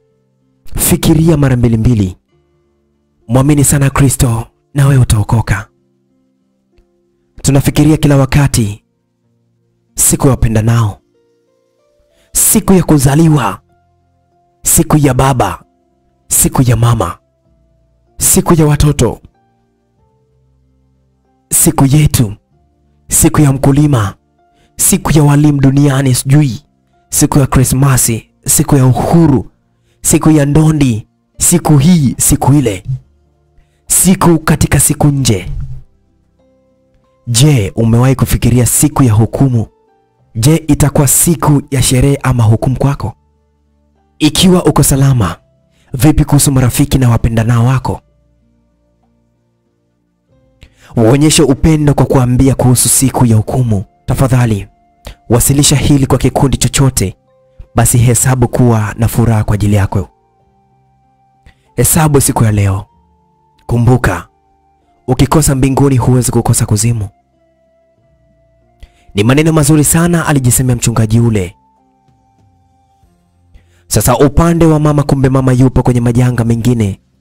Sehemu aliyokuwa anafanya kazi, bosi wake wa kiume alimbaka mama yangu, na mama akitembea na mwanaume tu, basi mimba ni hapo hapo. Mama alibeba mimba. Bosi wake wa kike alimtimua mama kwenye nyumba yake saa saba usiku, anamwambia ondoka kwenye nyumba yangu. Mama alilia sana, anaona kama anamkosa kwenye hii dunia. Sasa je, mama atakwenda wapi? Amesimama nje ya geti la nyumba ya bosi wake, na tena ni usiku kabisa muda ule.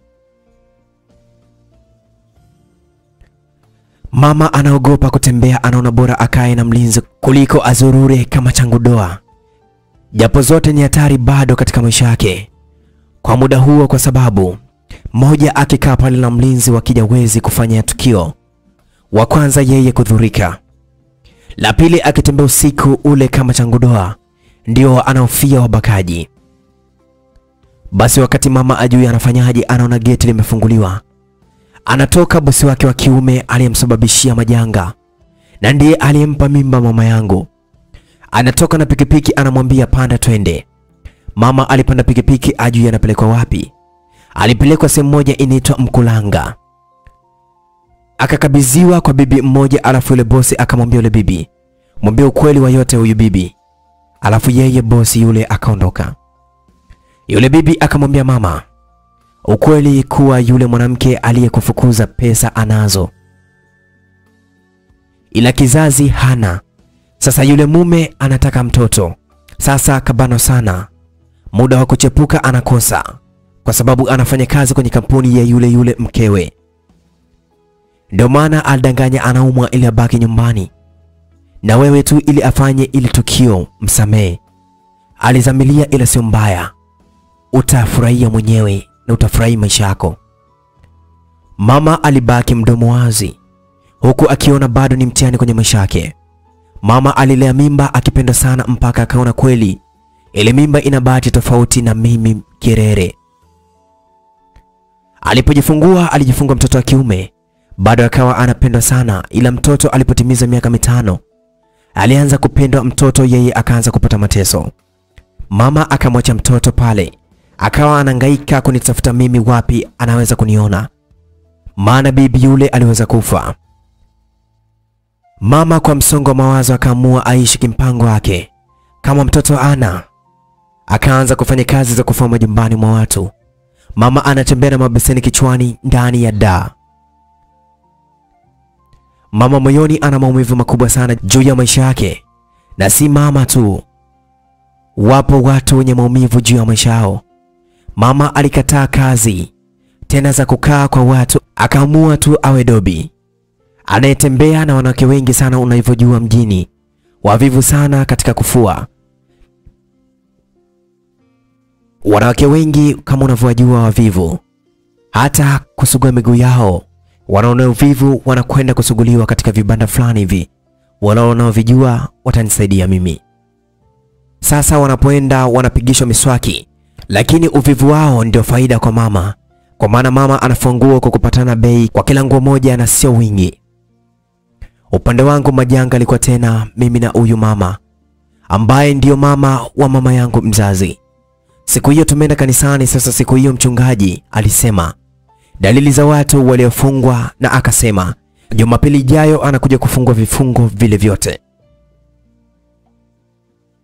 Mama yangu akasema da, tusikilize hizi dalili, inawezekana mimi nimefungwa, kwa sababu anasema dalili zote na ndoto.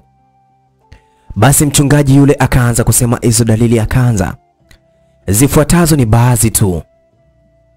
Endapo hatima yako imeibiwa, imetekwa, imezuiliwa ama imefungwa: moja, kuota unashiriki na watu waliokufa, uko makaburini kwenye shimo na unakimbizwa na wanyama; kufanya jitihada pasipo kuona upenyo au kufanikiwa kwa muda mrefu uchumi; kupata matatizo yanayojirudia rudia; kuwa mwanamke mrembo lakini huolewi na unaishiwa tu kuchezewa ama kuzalisha ukiwa nyumbani. Hii inaambatana na kuota unafanya mapenzi kwenye ndoto,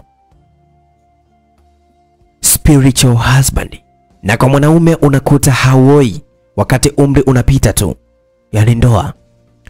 Kutawaliwa na roho ya kukataliwa kila eneo, kuoa au kuolewa kila kukicha au kuachwa kwa muda mfupi, kuota upo kijijini au mahali ulipozaliwa mara kwa mara wakati huo wewe haupo maeneo yale.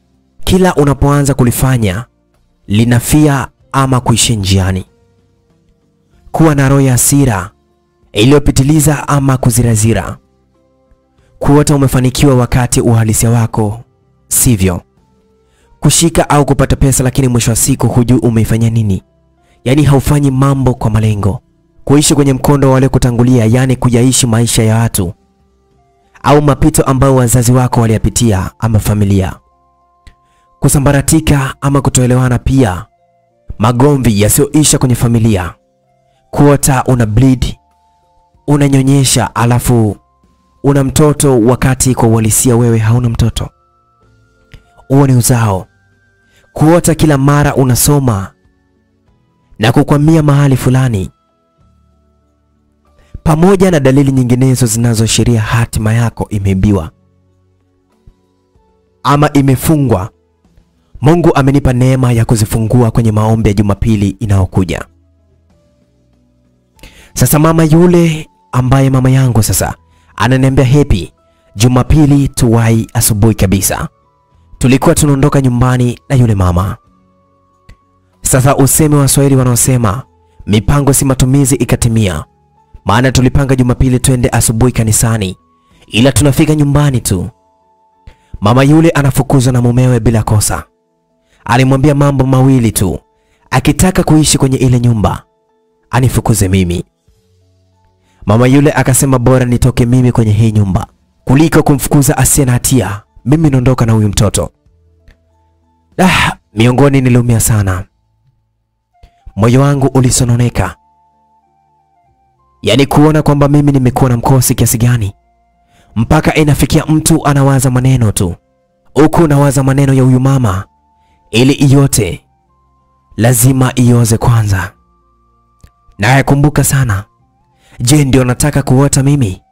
Maana neno ili ameniambia mwenyewe, yaani kwamba ili kitu kiote basi lazima kioze. Niliumia sana. Basi yule mama alichukua begi langu na lake, tukaondoka hadi huo mkoa ambao sitaki kabisa kutaja kwa sababu imetoka timu ya mpira ambayo ipo ligi kuu. Mama yule alikuja daa tukiambatana na mimi, akaenda kwa dada yake, ila usiku aliniambia kitu kimoja, kuwa kukaa na ndugu kunataka usimtegemee kwa kila kitu, atakuona we mzigo. Nikamwambia hiyo tufanyaje? Akaniambia kesho tutaenda posta kutafuta kazi ya kuuza hata mamatilie. Basi kesho yake tukaenda kutafuta kazi, mimi nikapata fasta kwa sababu mimi ni msichana, nikapewa kazi ya kuhudumia wateja. Yeye alipata kazi sehemu nyingine ya kumenya viazi vya chips, ila ndio tupo mbalimbali kabisa, japo eneo ni moja posta. Lakini jamani, mkosi ulionipata mimi, nimekuwa na heshima ya kumwamkia mtu simwangalie usoni. Hiyo tabia ikaniletea madhara yake kazini. Kuna mteja alinipa elfu kumi nikaenda kumlipia kwa mwajiri wangu, akanipa chenchi nimrudishie mteja. Kumbe yule mteja pale akanyanyuka kaenda kunawa maji pale, akakaa mteja mwingine. Mimi najua ndo yule yule alinipa elfu kumi nampa chinchi yake, huku nasema asante kaka, karibu tena. Jamani, kuna watu hawana huruma. Alipokea chenji sio ya kwake, yeye hajatoa pesa, alafu akaweza kuondoka. Mimi nakwenda kumfuata mteja mwingine, nasikia yule aliyenipa elfu kumi ananiambia, oya wewe msichana, tafadhali naomba chenji yangu, mimi nataka kuwahi ujue. Namwambia si nimekupa pale. Yule mkaka akanikunja akaniambia, wewe pesa mjini hapa atopati kizembe, nitakufumua nipe pesa yangu. Yule bosi wangu ni mwanamke, alivyokuwa anakuja nadhani anakuja kunitetea kabisa, kumbe anakuja kusema maneno haya, wewe unaleta ujanja wa kizamani kuficha pesa kwenye kibompoli. Sasa utatoa pesa ya watu, ngoja ni kusachi huko kwenye kibompoli. Yule mama ambaye ni bosi alishika kifungo changu cha sketi anitoe sketi mbele ya yule mteja. Nikamwambia, mama, unataka kunizalilisha tu, mimi sijachukua pesa. Hicho unachotaka kuifanya si kitendo kizuri. Kumbuka mimi ni mwanamke, kumbuka pia kuna mitandao. Hivyo akinichukua ili tukio, nipo kama nilivyozaliwa, alafu wewe umekosa kitu ulichokikusudia kwangu, nani atabaki kwenye aibu? Mama, naomba usinivue sketi. Yule mama kwa dharau kubwa sana alinipiga kwenye kibompoli yangu, akasema, wewe wakitwa wanawake nao utatoka, unakwenda wapi? Hauna hata mashavu eh? Hauwezi kumshawishi mtu yote, umekomaa. Acha niione moja kwa moja hiki kibompoli yako, pumbavwe. Mimi sina ujanja zaidi, nilibana tu miguu yangu, na hata sijui kama nilibana miguu inakuwaje, lakini nilijikuta na bana miguu tu. Yule mwanamama akanivua sketi bwana mzuri, nilivaa taiti mule ndani. Yule mama akasema, yaani mtu mwenyewe una kibompoli kibaya, alafu unavaa nguo nyingi sana ndani eh, kwa kuzuia nini? Kwa mfano aswana hapa, sikujitesa tu na joto, acha nitoe na hii tight yako. Ndipo nasikia sauti ya baba mmoja akisema, wewe mama, hivi kumzalilisha huyo msichana kwa thamani ya shilingi unayosema kachukua, unahisi upo sahihi kichwani? Hivi wewe uone mwanao anafanyiwa hivi, utajisikiaje? Usitaki usababishe watu watukane, usitaki watu tuwatukane watoto wa kike, maana nyinyi ndio mnasababisha jamii kubwa inatukana kwa ujinga wachache kama nyinyi. Au sikiagi maneno ya watu wanasema kwamba wanawake hawana akili, kumbe wachache nyinyi ndio mliokosa akili. Mnaleta matusi kwa wengine, ndio maana hampendani, mpaka mwanamke akiwa na mimba atatamani azalishwe na dokta wa kiume kuliko azalishwe na nesi. Inauma sana. Embo chukua hii elfu yako, mwache huyo msichana we. Pumbavu we. Nasikia yule mama anasema yote ulioongea ilikuwa ujinga tu, hilo la mwisho ndio la maana. Chukua hii elfu kumi ndio neno lako la mwisho. Hayo maneno yote uliokuwa unaongea Ukiona mwanamke anakufurahia kuzalishwa na nesi, basi ujue uzazi wa kwanza. Ndio nesi wanatutukana sisi, matusi makubwa. Sukuma, acha kubana miguu, tanua kama ulivyokuwa unamtanua nani yako. Alafu ukisema nesi, tafadhali nisaidie, majibu yake mbona kuniita nikusaidie ukiwa kitandani? Sukuma hapo, mshenzi mkubwa. Na ole wako uende hospitali ujanyiwa nywele, manesi wanakubandika plasta, wewe usiseme tu. Tunapenda kuzalilishwa na kuzalishwa na wanaume. Wanaume wana raha yake. Kwanza ukimwona unasikia raha, alafu anakwambia sukuma, sukuma huku kugusa kibopoli. Wewe mawazo yanaenda mbali sana, ukizaa kwa uchungu huku unabembelezwa. Sasa we binti, kaendelee na kazi, ole wako umpe mtu mwingine chenji. Yule mzee alinilipia pesa akasema, hapana, mwache leo akapumzike, kesho atarudi na usimlipe, mimi nitamlipa hiyo pesa yake ya siku. Yule mama akafurahi sana, aliona zimebaki sani chache tu amalize, ilibidi anipe elfu nne ya kwangu ya siku. Sasa yule mzee akasema, naomba uniambie unakaa wapi? Sasa mimi mjini hapa ni mgeni, ninapokaa hata sipajui jina. Nilipokuwa kijijini kwetu nilisikia tunakuja mjini leo, nasikia tu mama ananiambia twende posta mjini tukatafute kazi. Sasa hapa lugha gongana kichwani, niseme tu kwetu wapi sielewi.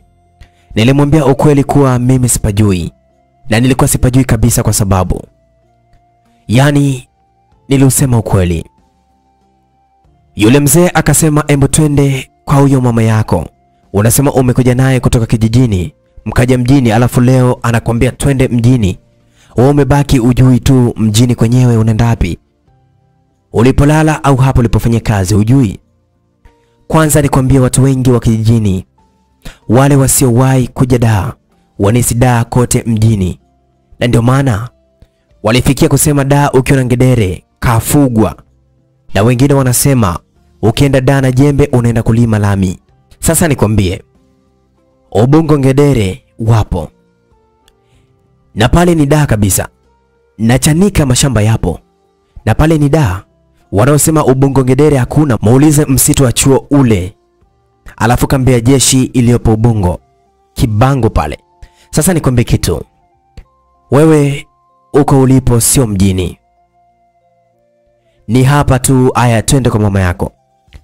Nafika kwa mama, namwona na yeye anatukanwa na msichana mdogo kabisa, kisa mama mkono wake mzito kumenya viazi vya chips. Yule mzee alimwonya yule msichana na akamwomba mama aache ile kazi arudi nyumbani. Alimweleza yaliweza kunikuta mimi. Basi tulipanda gari ya yule mzee, akawasha redio, tunamsikia kuna kongamano linalushwa live kabisa kwenye redio, alafu kuna mtumishi anasema mambo mazuri, yaani mpaka yule mzee akasimamisha gari akiwa anasikiliza. Kwanza alikuwa anasema hivi, njia nne za kukusaidia kufanikiwa kwenye kazi zako. Yohana tatu moja mstari wa pili.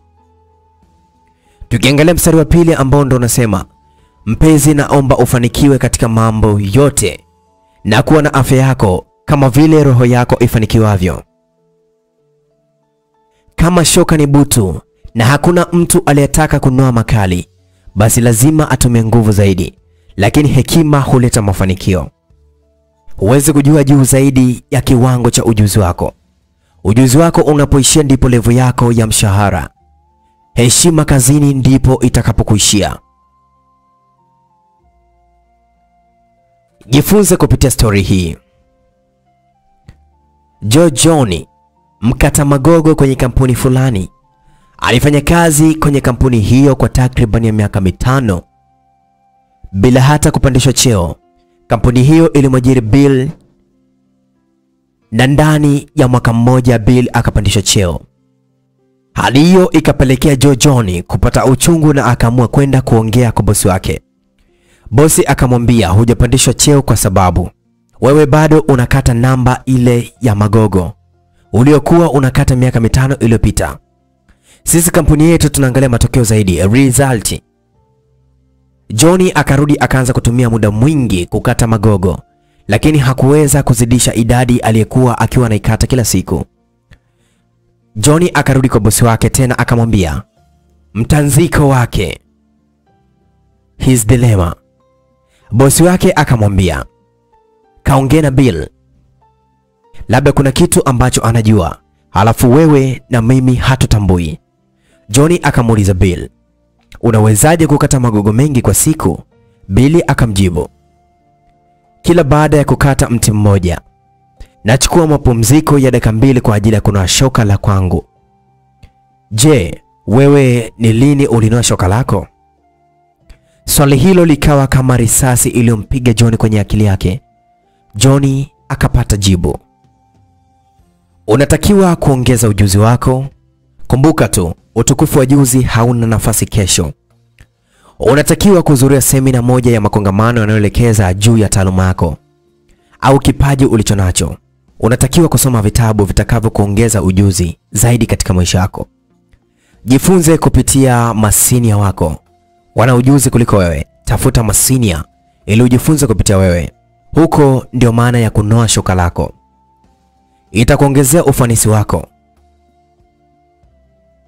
na uzalishaji wako, na hivyo basi kukupelekea upandisho cheo ama kuongezwa mshahara. Asiyefanya kazi na asile. Mzee akasema basi maneno kama haya mazuri tu, lakini vijana wakiasikia wanayapita, wanatafuta bongo flavor au singeli, ndo wanasikiliza. Sio maneno kama haya yanayo uwezo mkubwa sana wa kukuinua kifikra. Basi tulifika, yule mzee akatupa laki moja akaondoka.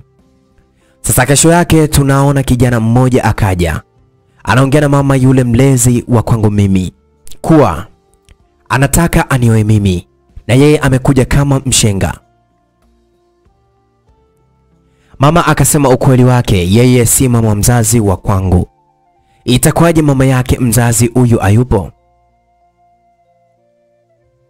Yule kijana akasema, sababu tunataka tufanye jambo la heri.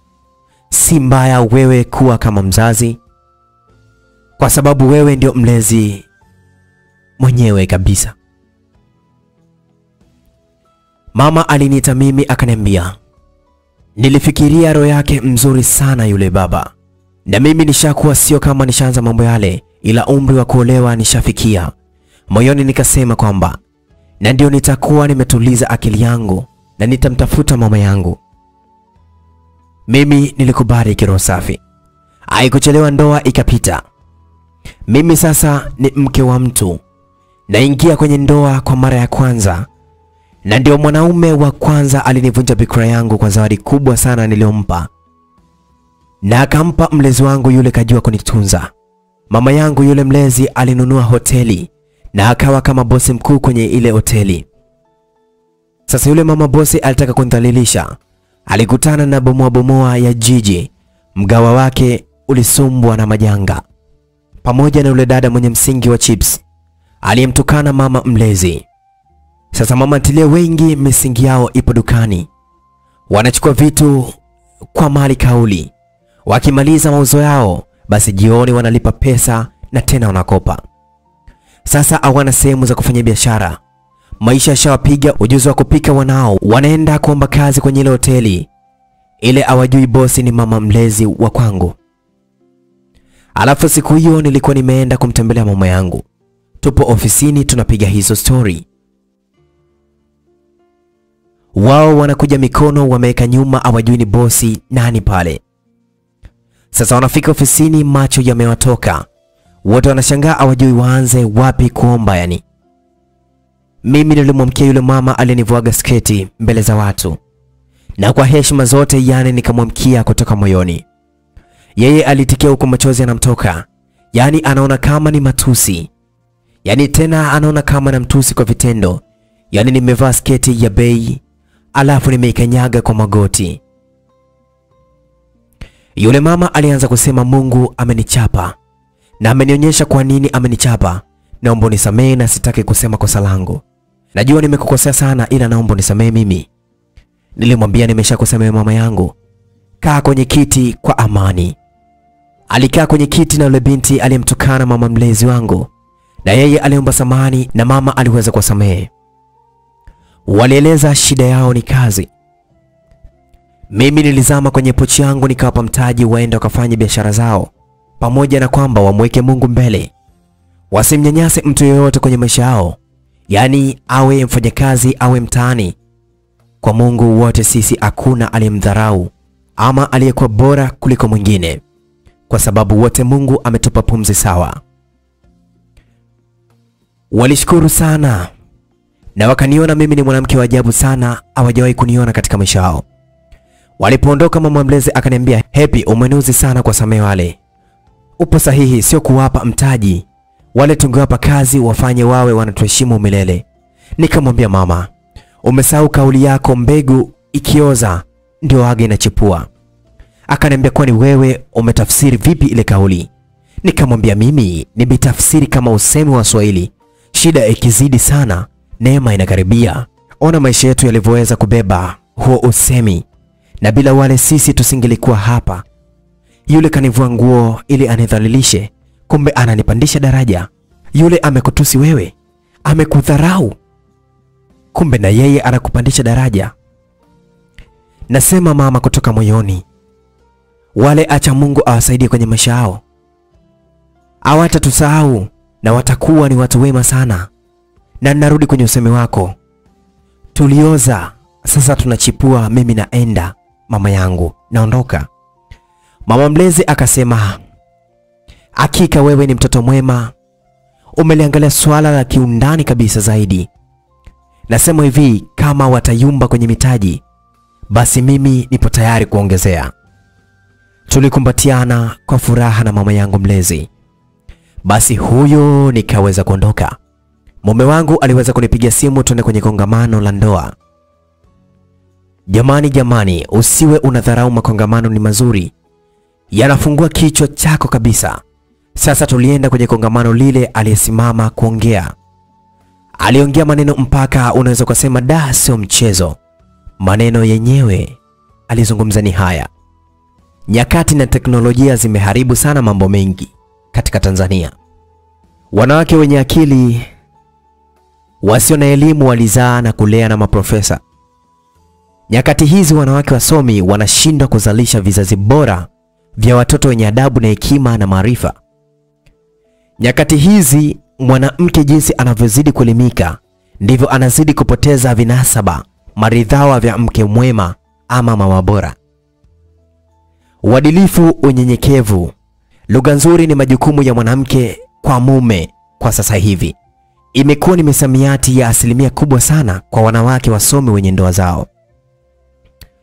Mzazi anafurahia mtoto kuzungumza lugha ya Kiingereza kwa ufasaha zaidi, lakini mtoto hana adabu, ni mjauri, mwenye kiburi. Social media, wazazi tunaposti picha za watoto wetu eti kwa ubora wa mavazi na uzuri wa sura yake, lakini hatujivunii haiba na tabia njema za mtoto. She is my happiness. Mwingine utasikia he is my handsome, lakini mtoto anamjua vyema house girl kuliko mama. Wengi wamejificha kwenye kazi, inachukua muda wangu mwingi sana, nashindwa kukaa na wanangu eti kwa sababu ya kazi. Wengine tumelelewa na wazazi, wengine ni manesi, anaingia night, lakini tulisoma na kuimba tebo kuanzia ya kwanza hadi ya kumi na mbili ndio tulipewa ruhusa ya kwenda kucheza.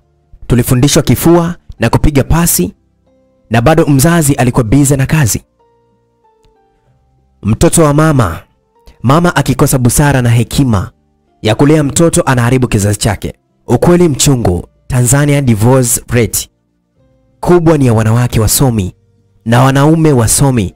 Ndoa za watu ambao si wasomi, kuna ushirika na upendo mkubwa sana. Kuna tofauti kubwa sana kati ya wanawake wenye akili na asiye na elimu na mwanamke mwenye elimu asiye na hekima na busara. Busara ina unyenyekevu, uvumilivu, adabu na utu. Wanawake waliokosa busara utawagundua tu kwa shof na kauli zao.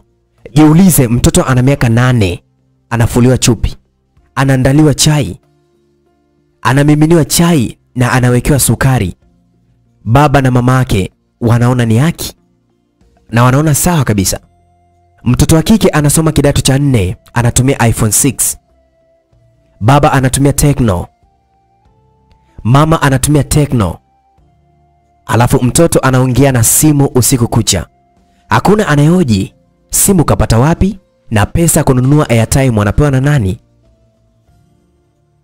Wazazi huwa wanaoji mimba ni ya nani na sio simu kanunuliwa na nani. Mabinti wanapenda sana kusema oh, mimi nataka mwanaume mrefu alijazia mwenye six pack. Baba yake mfupi ana kitambi. Mama yako sio mjinga binti. Wanaume wanapenda kuoa wanawake wenye kazi nzuri na elimu nzuri. Baba yako hakuwa mjinga kuoa, mama yako darasa la saba hakuwa mjinga, na yupo kwenye ndoa zaidi ya miaka 40 na hakuna picha ya kumbukumbu ya ndoa ya miaka 40 kwenye social media kwao. Vijana ambao hamjaoa wala kuolewa, kigezo cha mke au mume mwema ni akili yake na sio elimu yake. Mungu humpa mtu kilicho bora. Tujifunze kulea watoto wetu kwa adabu, unyenyekevu na nidhamu, pamoja na kukemea na kuadhibu kwa haki. Tusijifiche kwenye kivuli cha kazi za ubize. Binti anayefuliwa chupi miaka kumi anawezaje kuwa mke mwema? Huo ni uongo. Jiulize, ni mara ngapi umesali na mwanao kila aendapo shule? Ni mara ngapi umeosha vyombo na binti yako? Ni mara ngapi umemwambia mwanao baba au mama, ya kwako ni mtu bora kwangu na kwako? Mara ngapi umezungumza hivyo na mwanao? Basi semina iliweza kuendelea, yaani ukumbini kote kulikuwa kimya sana, yaani maneno mazito kwelikweli, kila mmoja yalimchoma kimpango wake. Akasimama mwalimu mwingine akaja na somo la ndoa, na masomo yake yalikuwa mawili. Alianza, inaonyesha ni jinsi gani mtu anaongea maneno matamu hadi mtu akakubali. Na somo la pili akasema, upendo wa dhati unaweza kuota na kustawi popote ikiwa unapopandwa kuna rutuba.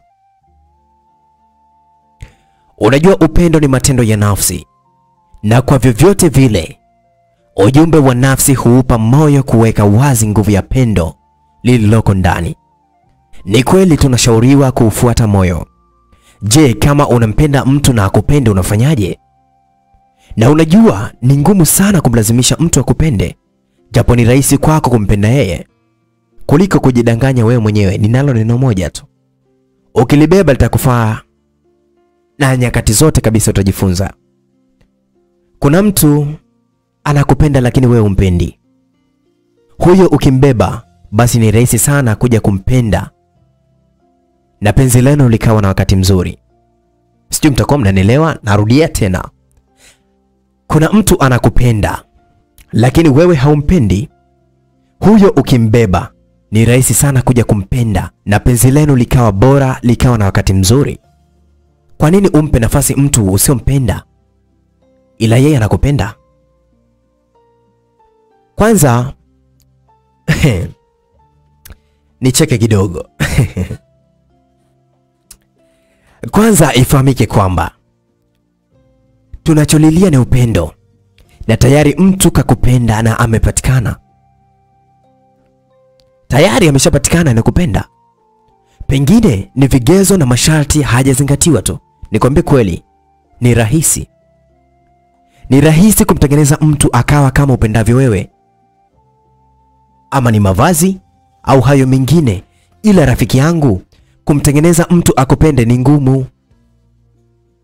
Tayari ushapata mtu mwenye upendo na wewe, ila kuna mambo hayatimii kwa utashi wako unaotaka.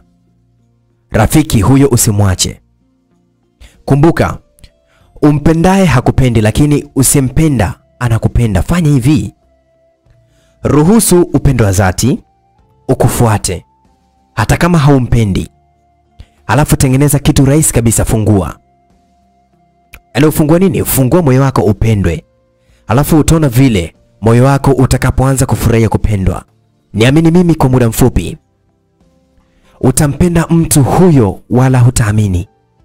Itatokea tu automatically, kwa sababu haulikuwa haumwelewi, lakini ukafungua moyo wako kuanza kumwelewa. Sasa pale utaanza kujikuta unaenjoy Usikumbuke kulilia penzi la mtu ambaye hakupendi na pengine anaye anempenda.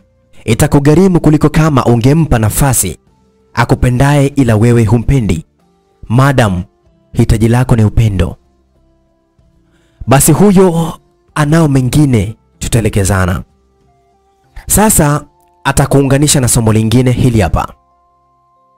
Kwa namna yoyote, mwanamke anayejichua kwa vidole ili ajiridhisha kiasi kwamba hana hisia na mwanaume ndiye anayetaka mwanaume mwenye pesa, na hata kama mwanaume huyo hana nguvu za kiume ndo atamtaka. Ukweli, mwanamke mzima wa afya na anayejitunza anahitaji kuridhishwa kimapenzi. Pesa ni huduma tu kama huduma nyingine. Nuna, ila nishasema. Jogopoli ashaniambia Elnai di fantastic, sema na mimi nishasema. Ukumbuke hata siku moja ukisikiliza tena ikumbuke. Basi pale ukumbini wote walicheka sana neno lile eti Nuna, nimeshasema. Basi tuliondoka nyumbani na mume wangu. Baada ya miezi miwili mimi nilipata ujauzito.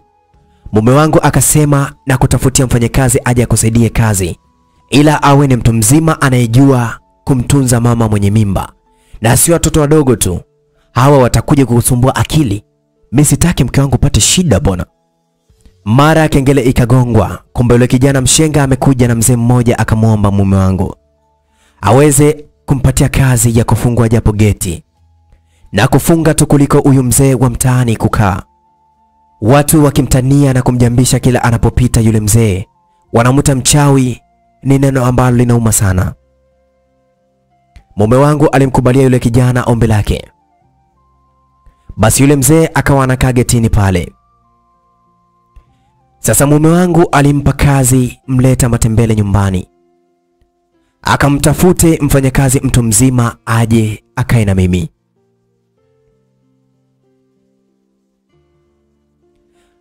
Sasa hapo muuza matembele ndio kaenda kumfata mama yangu pasipo hata kujua, kampanga kapangika. Kesho wakawa nakuja.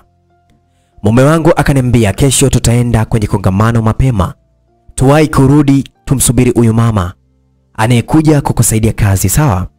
Nikamwambia sawa mume wangu, yani wote hatujui kitu.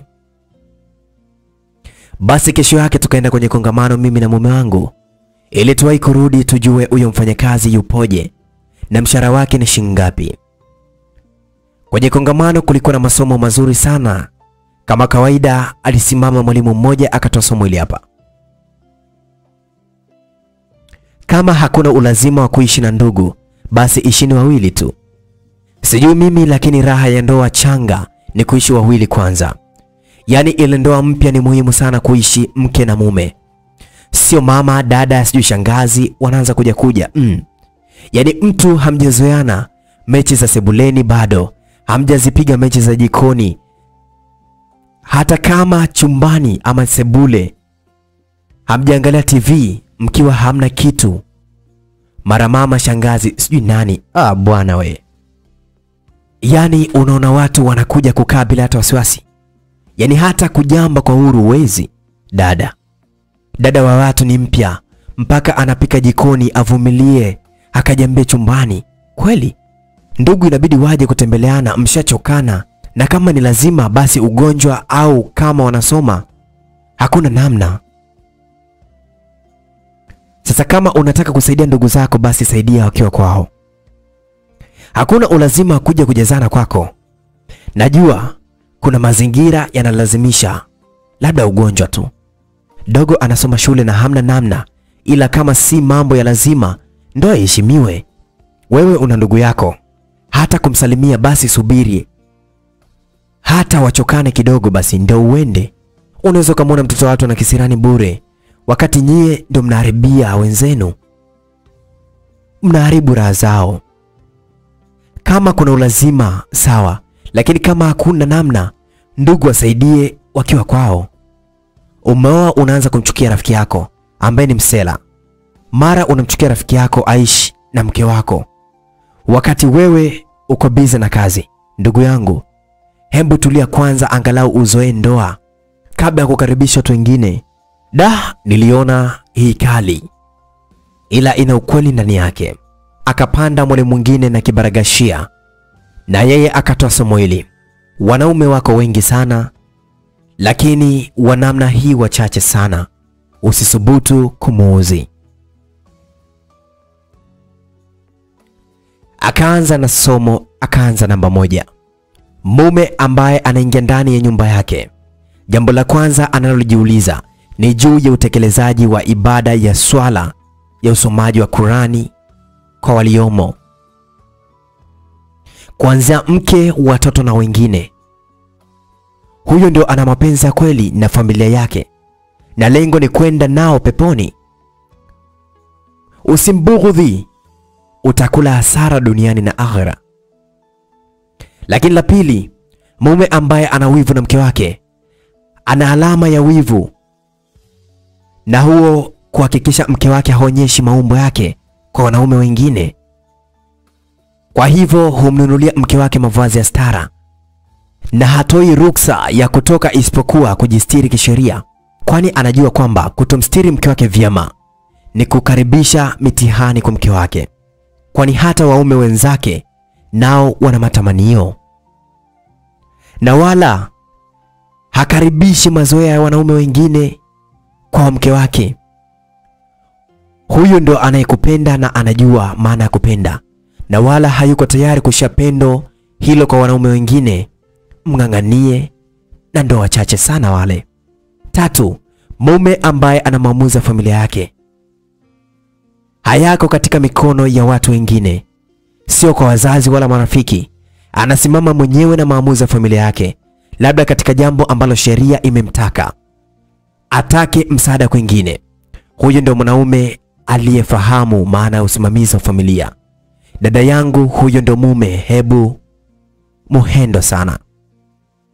La nne, mume ambaye anakuwa kama maji, usipoyanywa utayaoga, na kama au kwa maana ni mwanaume mahiri na hodari katika maisha ya familia, mkali panapohitajika ukali, laini panapohitajika ulaini, penye ucheshi ndo usiseme.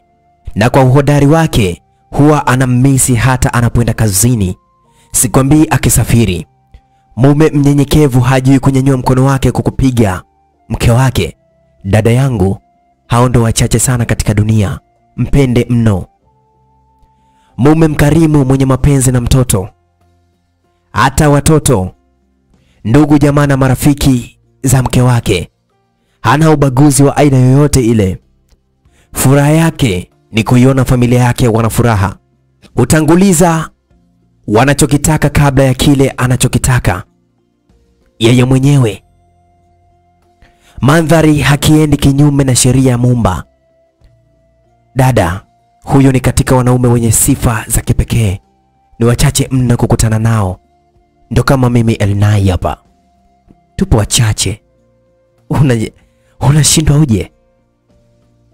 Utanitafuta mwenyewe ukipenda 0692807519. Lakini la sita, mume ambaye anakupa nafasi ya kujadili na kutoa mawazo yako katika jambo, anakusikiliza. Hata unaongea ujinga, anakusikiliza, na hata kama hajakubaliana na ushauri huo, basi hukuongezea kwa ushauri wako na kusifia, na kisha hutoa maamuzi yake kwa busara zaidi ya hali ya juu, kiasi cha wewe kuridhika na maamuzi yake. Huyo ni katika wanaume wachache wenye kujua thamani ya mke. Usimkere ukaja kumpoteza. Na mume ambaye atakutanguliza katika kila kitu, sio kwenye chakula wala mavazi na mambo mengine, hali mpaka hakikishe umekula, havai mpaka hakikisha umevaa. Haijalishi kipato chake, anakuenza kwa kiwango cha kipato chake. Raha yake aone unapendeza na kuwa na afya bora hakusimbulii kwa kile kitu alichokupa, hakisimulii kwa watu wengine.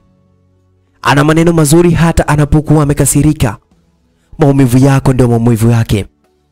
Upewe nini dada yangu? Hembo mpaka avimbe mpenzi eh? Umepata, mashallah, ringa.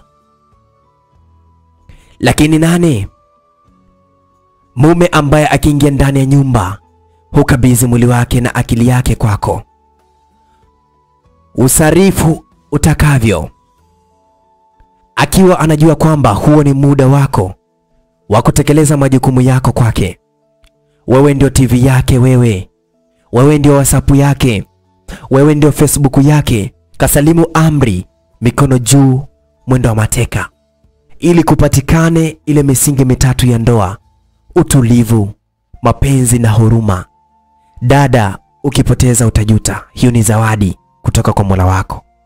Na tukienda tisa, mume ambaye huwa anatenga muda na bajeti ya kusafiri na wewe mahali kwingi aendako, huona furaha kuwa na wewe pembeni. Katika safari yake huona raha akikuona, huona raha akiambatana na wewe, eti kwenda na wewe labda kwa wazazi wa pande zote mbili, akiwa amefungasha zawadi mikononi. Dada, ukisikia bahati ndio hii, ukichezea basi utaumbuka. Nisikilize mimi nai, utaumbuka. Lakini la kumi, mume ambaye pindi mnapotofautiana ukimrejesha kwa Allah na Mtume Muhammad sallallahu alaihi wasallam, Qur'ani na hata Sunna, basi huwa mdogo sana, kwa sababu umemlingania. Mwepesi sana kwa kuomba msamaha, na anapokuwa kakukosea hujishusha sana kwako. So mshindani hana gubu, hupenda kusikiliza, anapenda mjadala wa kheri kabisa kati yenu.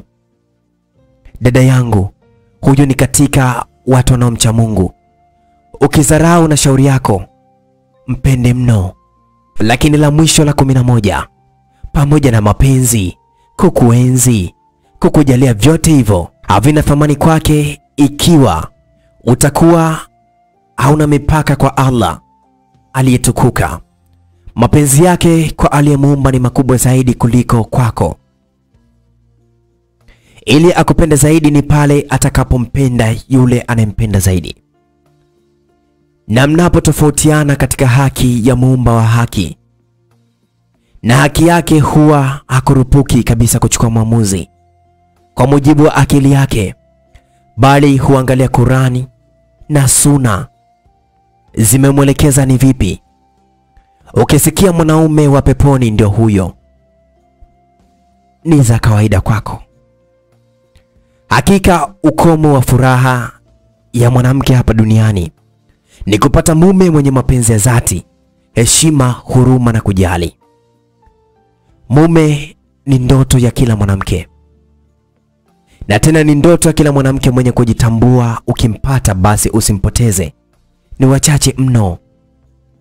Basi mtu semina aliyeweza kuvaa kofia kibaragashia aliweza kumaliza ule ujumbe, na tuliweza kumwelewa sana. Tulijifunza na nilifurahi sana katika semina ile. Basi tuliondoka na masomo yetu kichwani mpaka nyumbani.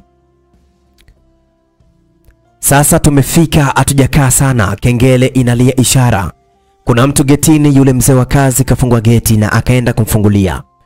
Sasa mimi na mume wangu tunasikia neno baba, alafu ile sauti mimi ilinipenya moja kwa moja, ni ya mama. Nasema mama anamwita baba, ni nani sasa? Tunatoka nje, mimi na mume wangu. Namuona sasa, ni kweli mama yangu alinikimbilia kwa nguvu, na mimi nikamkimbilia mama yangu, tukakumbatiana. Sasa mume wangu kanishika kichwa, kainama chini. Aliyemleta mama muza matembele yule akashika mdomo, ajui nini kinaendelea hapa. Sasa mimi nilistuka sana kusikia mama anasema, toka lini upo hapa kwa baba yako? Duh, niliguna sana. Kauli ya mama ilinipa unyonge sana na kujibu, maana yeye ajawahi kunionyesha baba. Namsikia yule mzee anamwita mama kwa jina lake, wewe Hepi. Nilistuka sana nikajua ni mimi, na nikajiuliza kajuaje jina langu huyo mzee. Nashangaa mama anaitika yeye ndio, nikajua kabisa mama akaniita jina lake mimi, yani ni Happy, kumbe ni jina lake mama. Aliamua tu mwenyewe kunridhisha niitwe Happy. Sasa mama akasema, Paulo, Yule mzee akasema, Hepi, hata kama nilikukosea, sio uniite jina langu, mimi ni baba yako.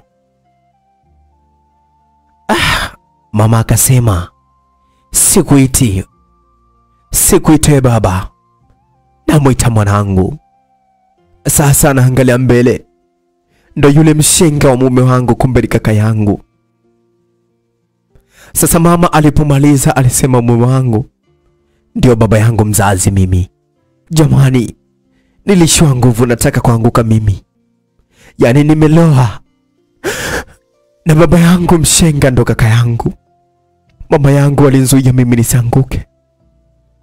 Kila mmoja baada ya kujua kwamba ukweli, alikaa kwenye kiwambaza chake analia. Sasa yani anaona ni mambo ya ajabu. Tunasikia mchungaji anahubiri kanisani, anatoa somo hili. Mambo niliyojifunza leo kupitia Bible. Mwanzo sura 41 hadi 44 inasema, unapokosea kuwa mwepesi kuomba msamaha na kujirudi kulingana na madhaifu yako ulionayo. Mnyoshaji wa Farao baada ya kutafsiriwa ndoto yake iliyompa kibali cha kurudi ikulu, alimsahau Yusufu, lakini baada ya miaka miwili kupita, alikiri udhaifu wake huo. Mwanzo 44:9 anasema, basi mkuu wa wanyeshaji akamwambia Farao akasema, nayakumbuka makosa yangu leo kwa hiyo ukiota ndoto mbili mfululizo zenye mauzui ya aina moja, basi ujue kwa Mungu amekusudia mambo hayo yatokee. Anakuandaa ili ujiandae, uombe kubadilisha ama kubatilisha jambo hilo. Mwanzo 41:9-32. Tukiangalia mstari wa tisa, basi mkuu wa uonyeshaji akamwambia Farao akasema, na yakumbuka makosa yangu leo. 32 anasema na ndoto ya Farao kwa vile ilivyokuja mara mbili ilikuwa ni kwa sababu tu neno hilo Mungu amelithibitisha na Mungu alilitimiza upesi. Lakini tatu ni kwamba Roho ya Mungu akiwa ndani yako utapata uwezo wa kuwa extraordinary, yaani mtu wa tofauti. Yusufu aliwashinda wale waganga na watu wenye hekima watu wa Misri kwa sababu ya roho ya Mungu aliyekuwa ndani yake. Mwanzo 41 mstari wa 9, mstari wa 32 na mstari wa 38. Tukianza na mstari wa 9. Basi mkuu wa wanyeshaji akamwambia Farao, na yakumbuka makosa yako. 32 na ndoto ya Farao kwa vile ilivyokuja mara mbili mbili ilikuwa ni kwa sababu ya neno la Mungu alilithibitisha na Mungu alilitimiza upesi. 38 mstari anasema Farao akawaambia watumwa wake, tupate wapi mtu kama huyu mwenye roho ya Mungu ndani yake? Farao alikuwa na kama unataka kupanda viwango katika utumishi wako, huduma yako, biashara yako, masomo yako, kazi yako na kadhalika, mtafute roho wa Mungu kwa nguvu zaidi. Biblia yenyewe inatuambia ufalme wa Mungu hupatikana kwa nguvu, na wenye nguvu ndio huweza kuteka. Nguvu hizo ni Roho Mtakatifu. Soma Luka 16 mstari wa 16 unasema, Torati na manabii vilikuwepo mpaka Yohana. Tangu wakati huo habari njema ya ufalme wa Mungu hutangazwa na kila mtu hujiingiza kwa nguvu. Lakini la nne siku ya leo ni kwamba kufanikiwa kwenye maisha hakuhitaji sana digrii yako au diploma yako, bali ni mafanikio yako yanahitaji maono yako. Yusufu hakuwa anatoka katika familia yenye mafanikio, lakini maono yake yalimfanya kuwa waziri mkuu wa nchi ya Misri. Basi tuliweza kuyasikia yale mahubiri vizuri, na tukirejea sasa, nasikia sauti ya yule mzee akisema, haya yote ni makosa yangu mimi mwenyewe. wakati mama yako alipokuwa mjamzito, sikumpa maneno mazuri yangemfanya amtafute baba yako na aniunganishe naye mimi. Nimemfanyia mama yako vitendo vya kikatili sana sana. Sasa alishindwa kuongea, akaanza kulia tu, alafu akaendelea na kusema, nilimfunga nyororo kwenye kaburi la mama yake. Mungu aweze kunisamehe sana. Mimi kupitia mkasa huu ule ule niliomfanyia mama yako, na ndio nilichomewa nyumba yangu, ilipigwa moto, nilionekana kama mimi nilivyozaliwa makaburini, nikaitwa mchawi, mpaka aliyekuwa mama yake ambaye ni mama yako aliyekuwa wakufikia na yeye kapoteza maisha kwa sababu hakuna sehemu aliyokuwa anaweza kuishi. Video ilitambaa kila kona mpaka mtaani. Mimi najambishwa, nikakimbilia kijijini. Nimekuja huku mjini ndio kabisa nafanyiwa mambo kama haya. Huyu kijana ni mjukuu wangu, tena ni wa jina langu, kanisaidia mimi. Nasema mimi ndiyo mwenye makosa, yani acha nilie, niseme tena Mungu asante. Sasa yule kijana akasema, mama, nimechukia baba yangu alivyosema. Nilikuja nikamuuliza mama yangu yuko wapi, akanijibu nimeshuka juu ya mti mimi. Mama, natembea na picha yako hii kila siku na kutafuta wewe tu. Huyu mzee kanisaidia mimi kusoma na mimi nimemsaidia kuwa mshenga kwenye harusi yake. Kumbe harusi ya dada yangu mimi. Mama, nakupenda sana.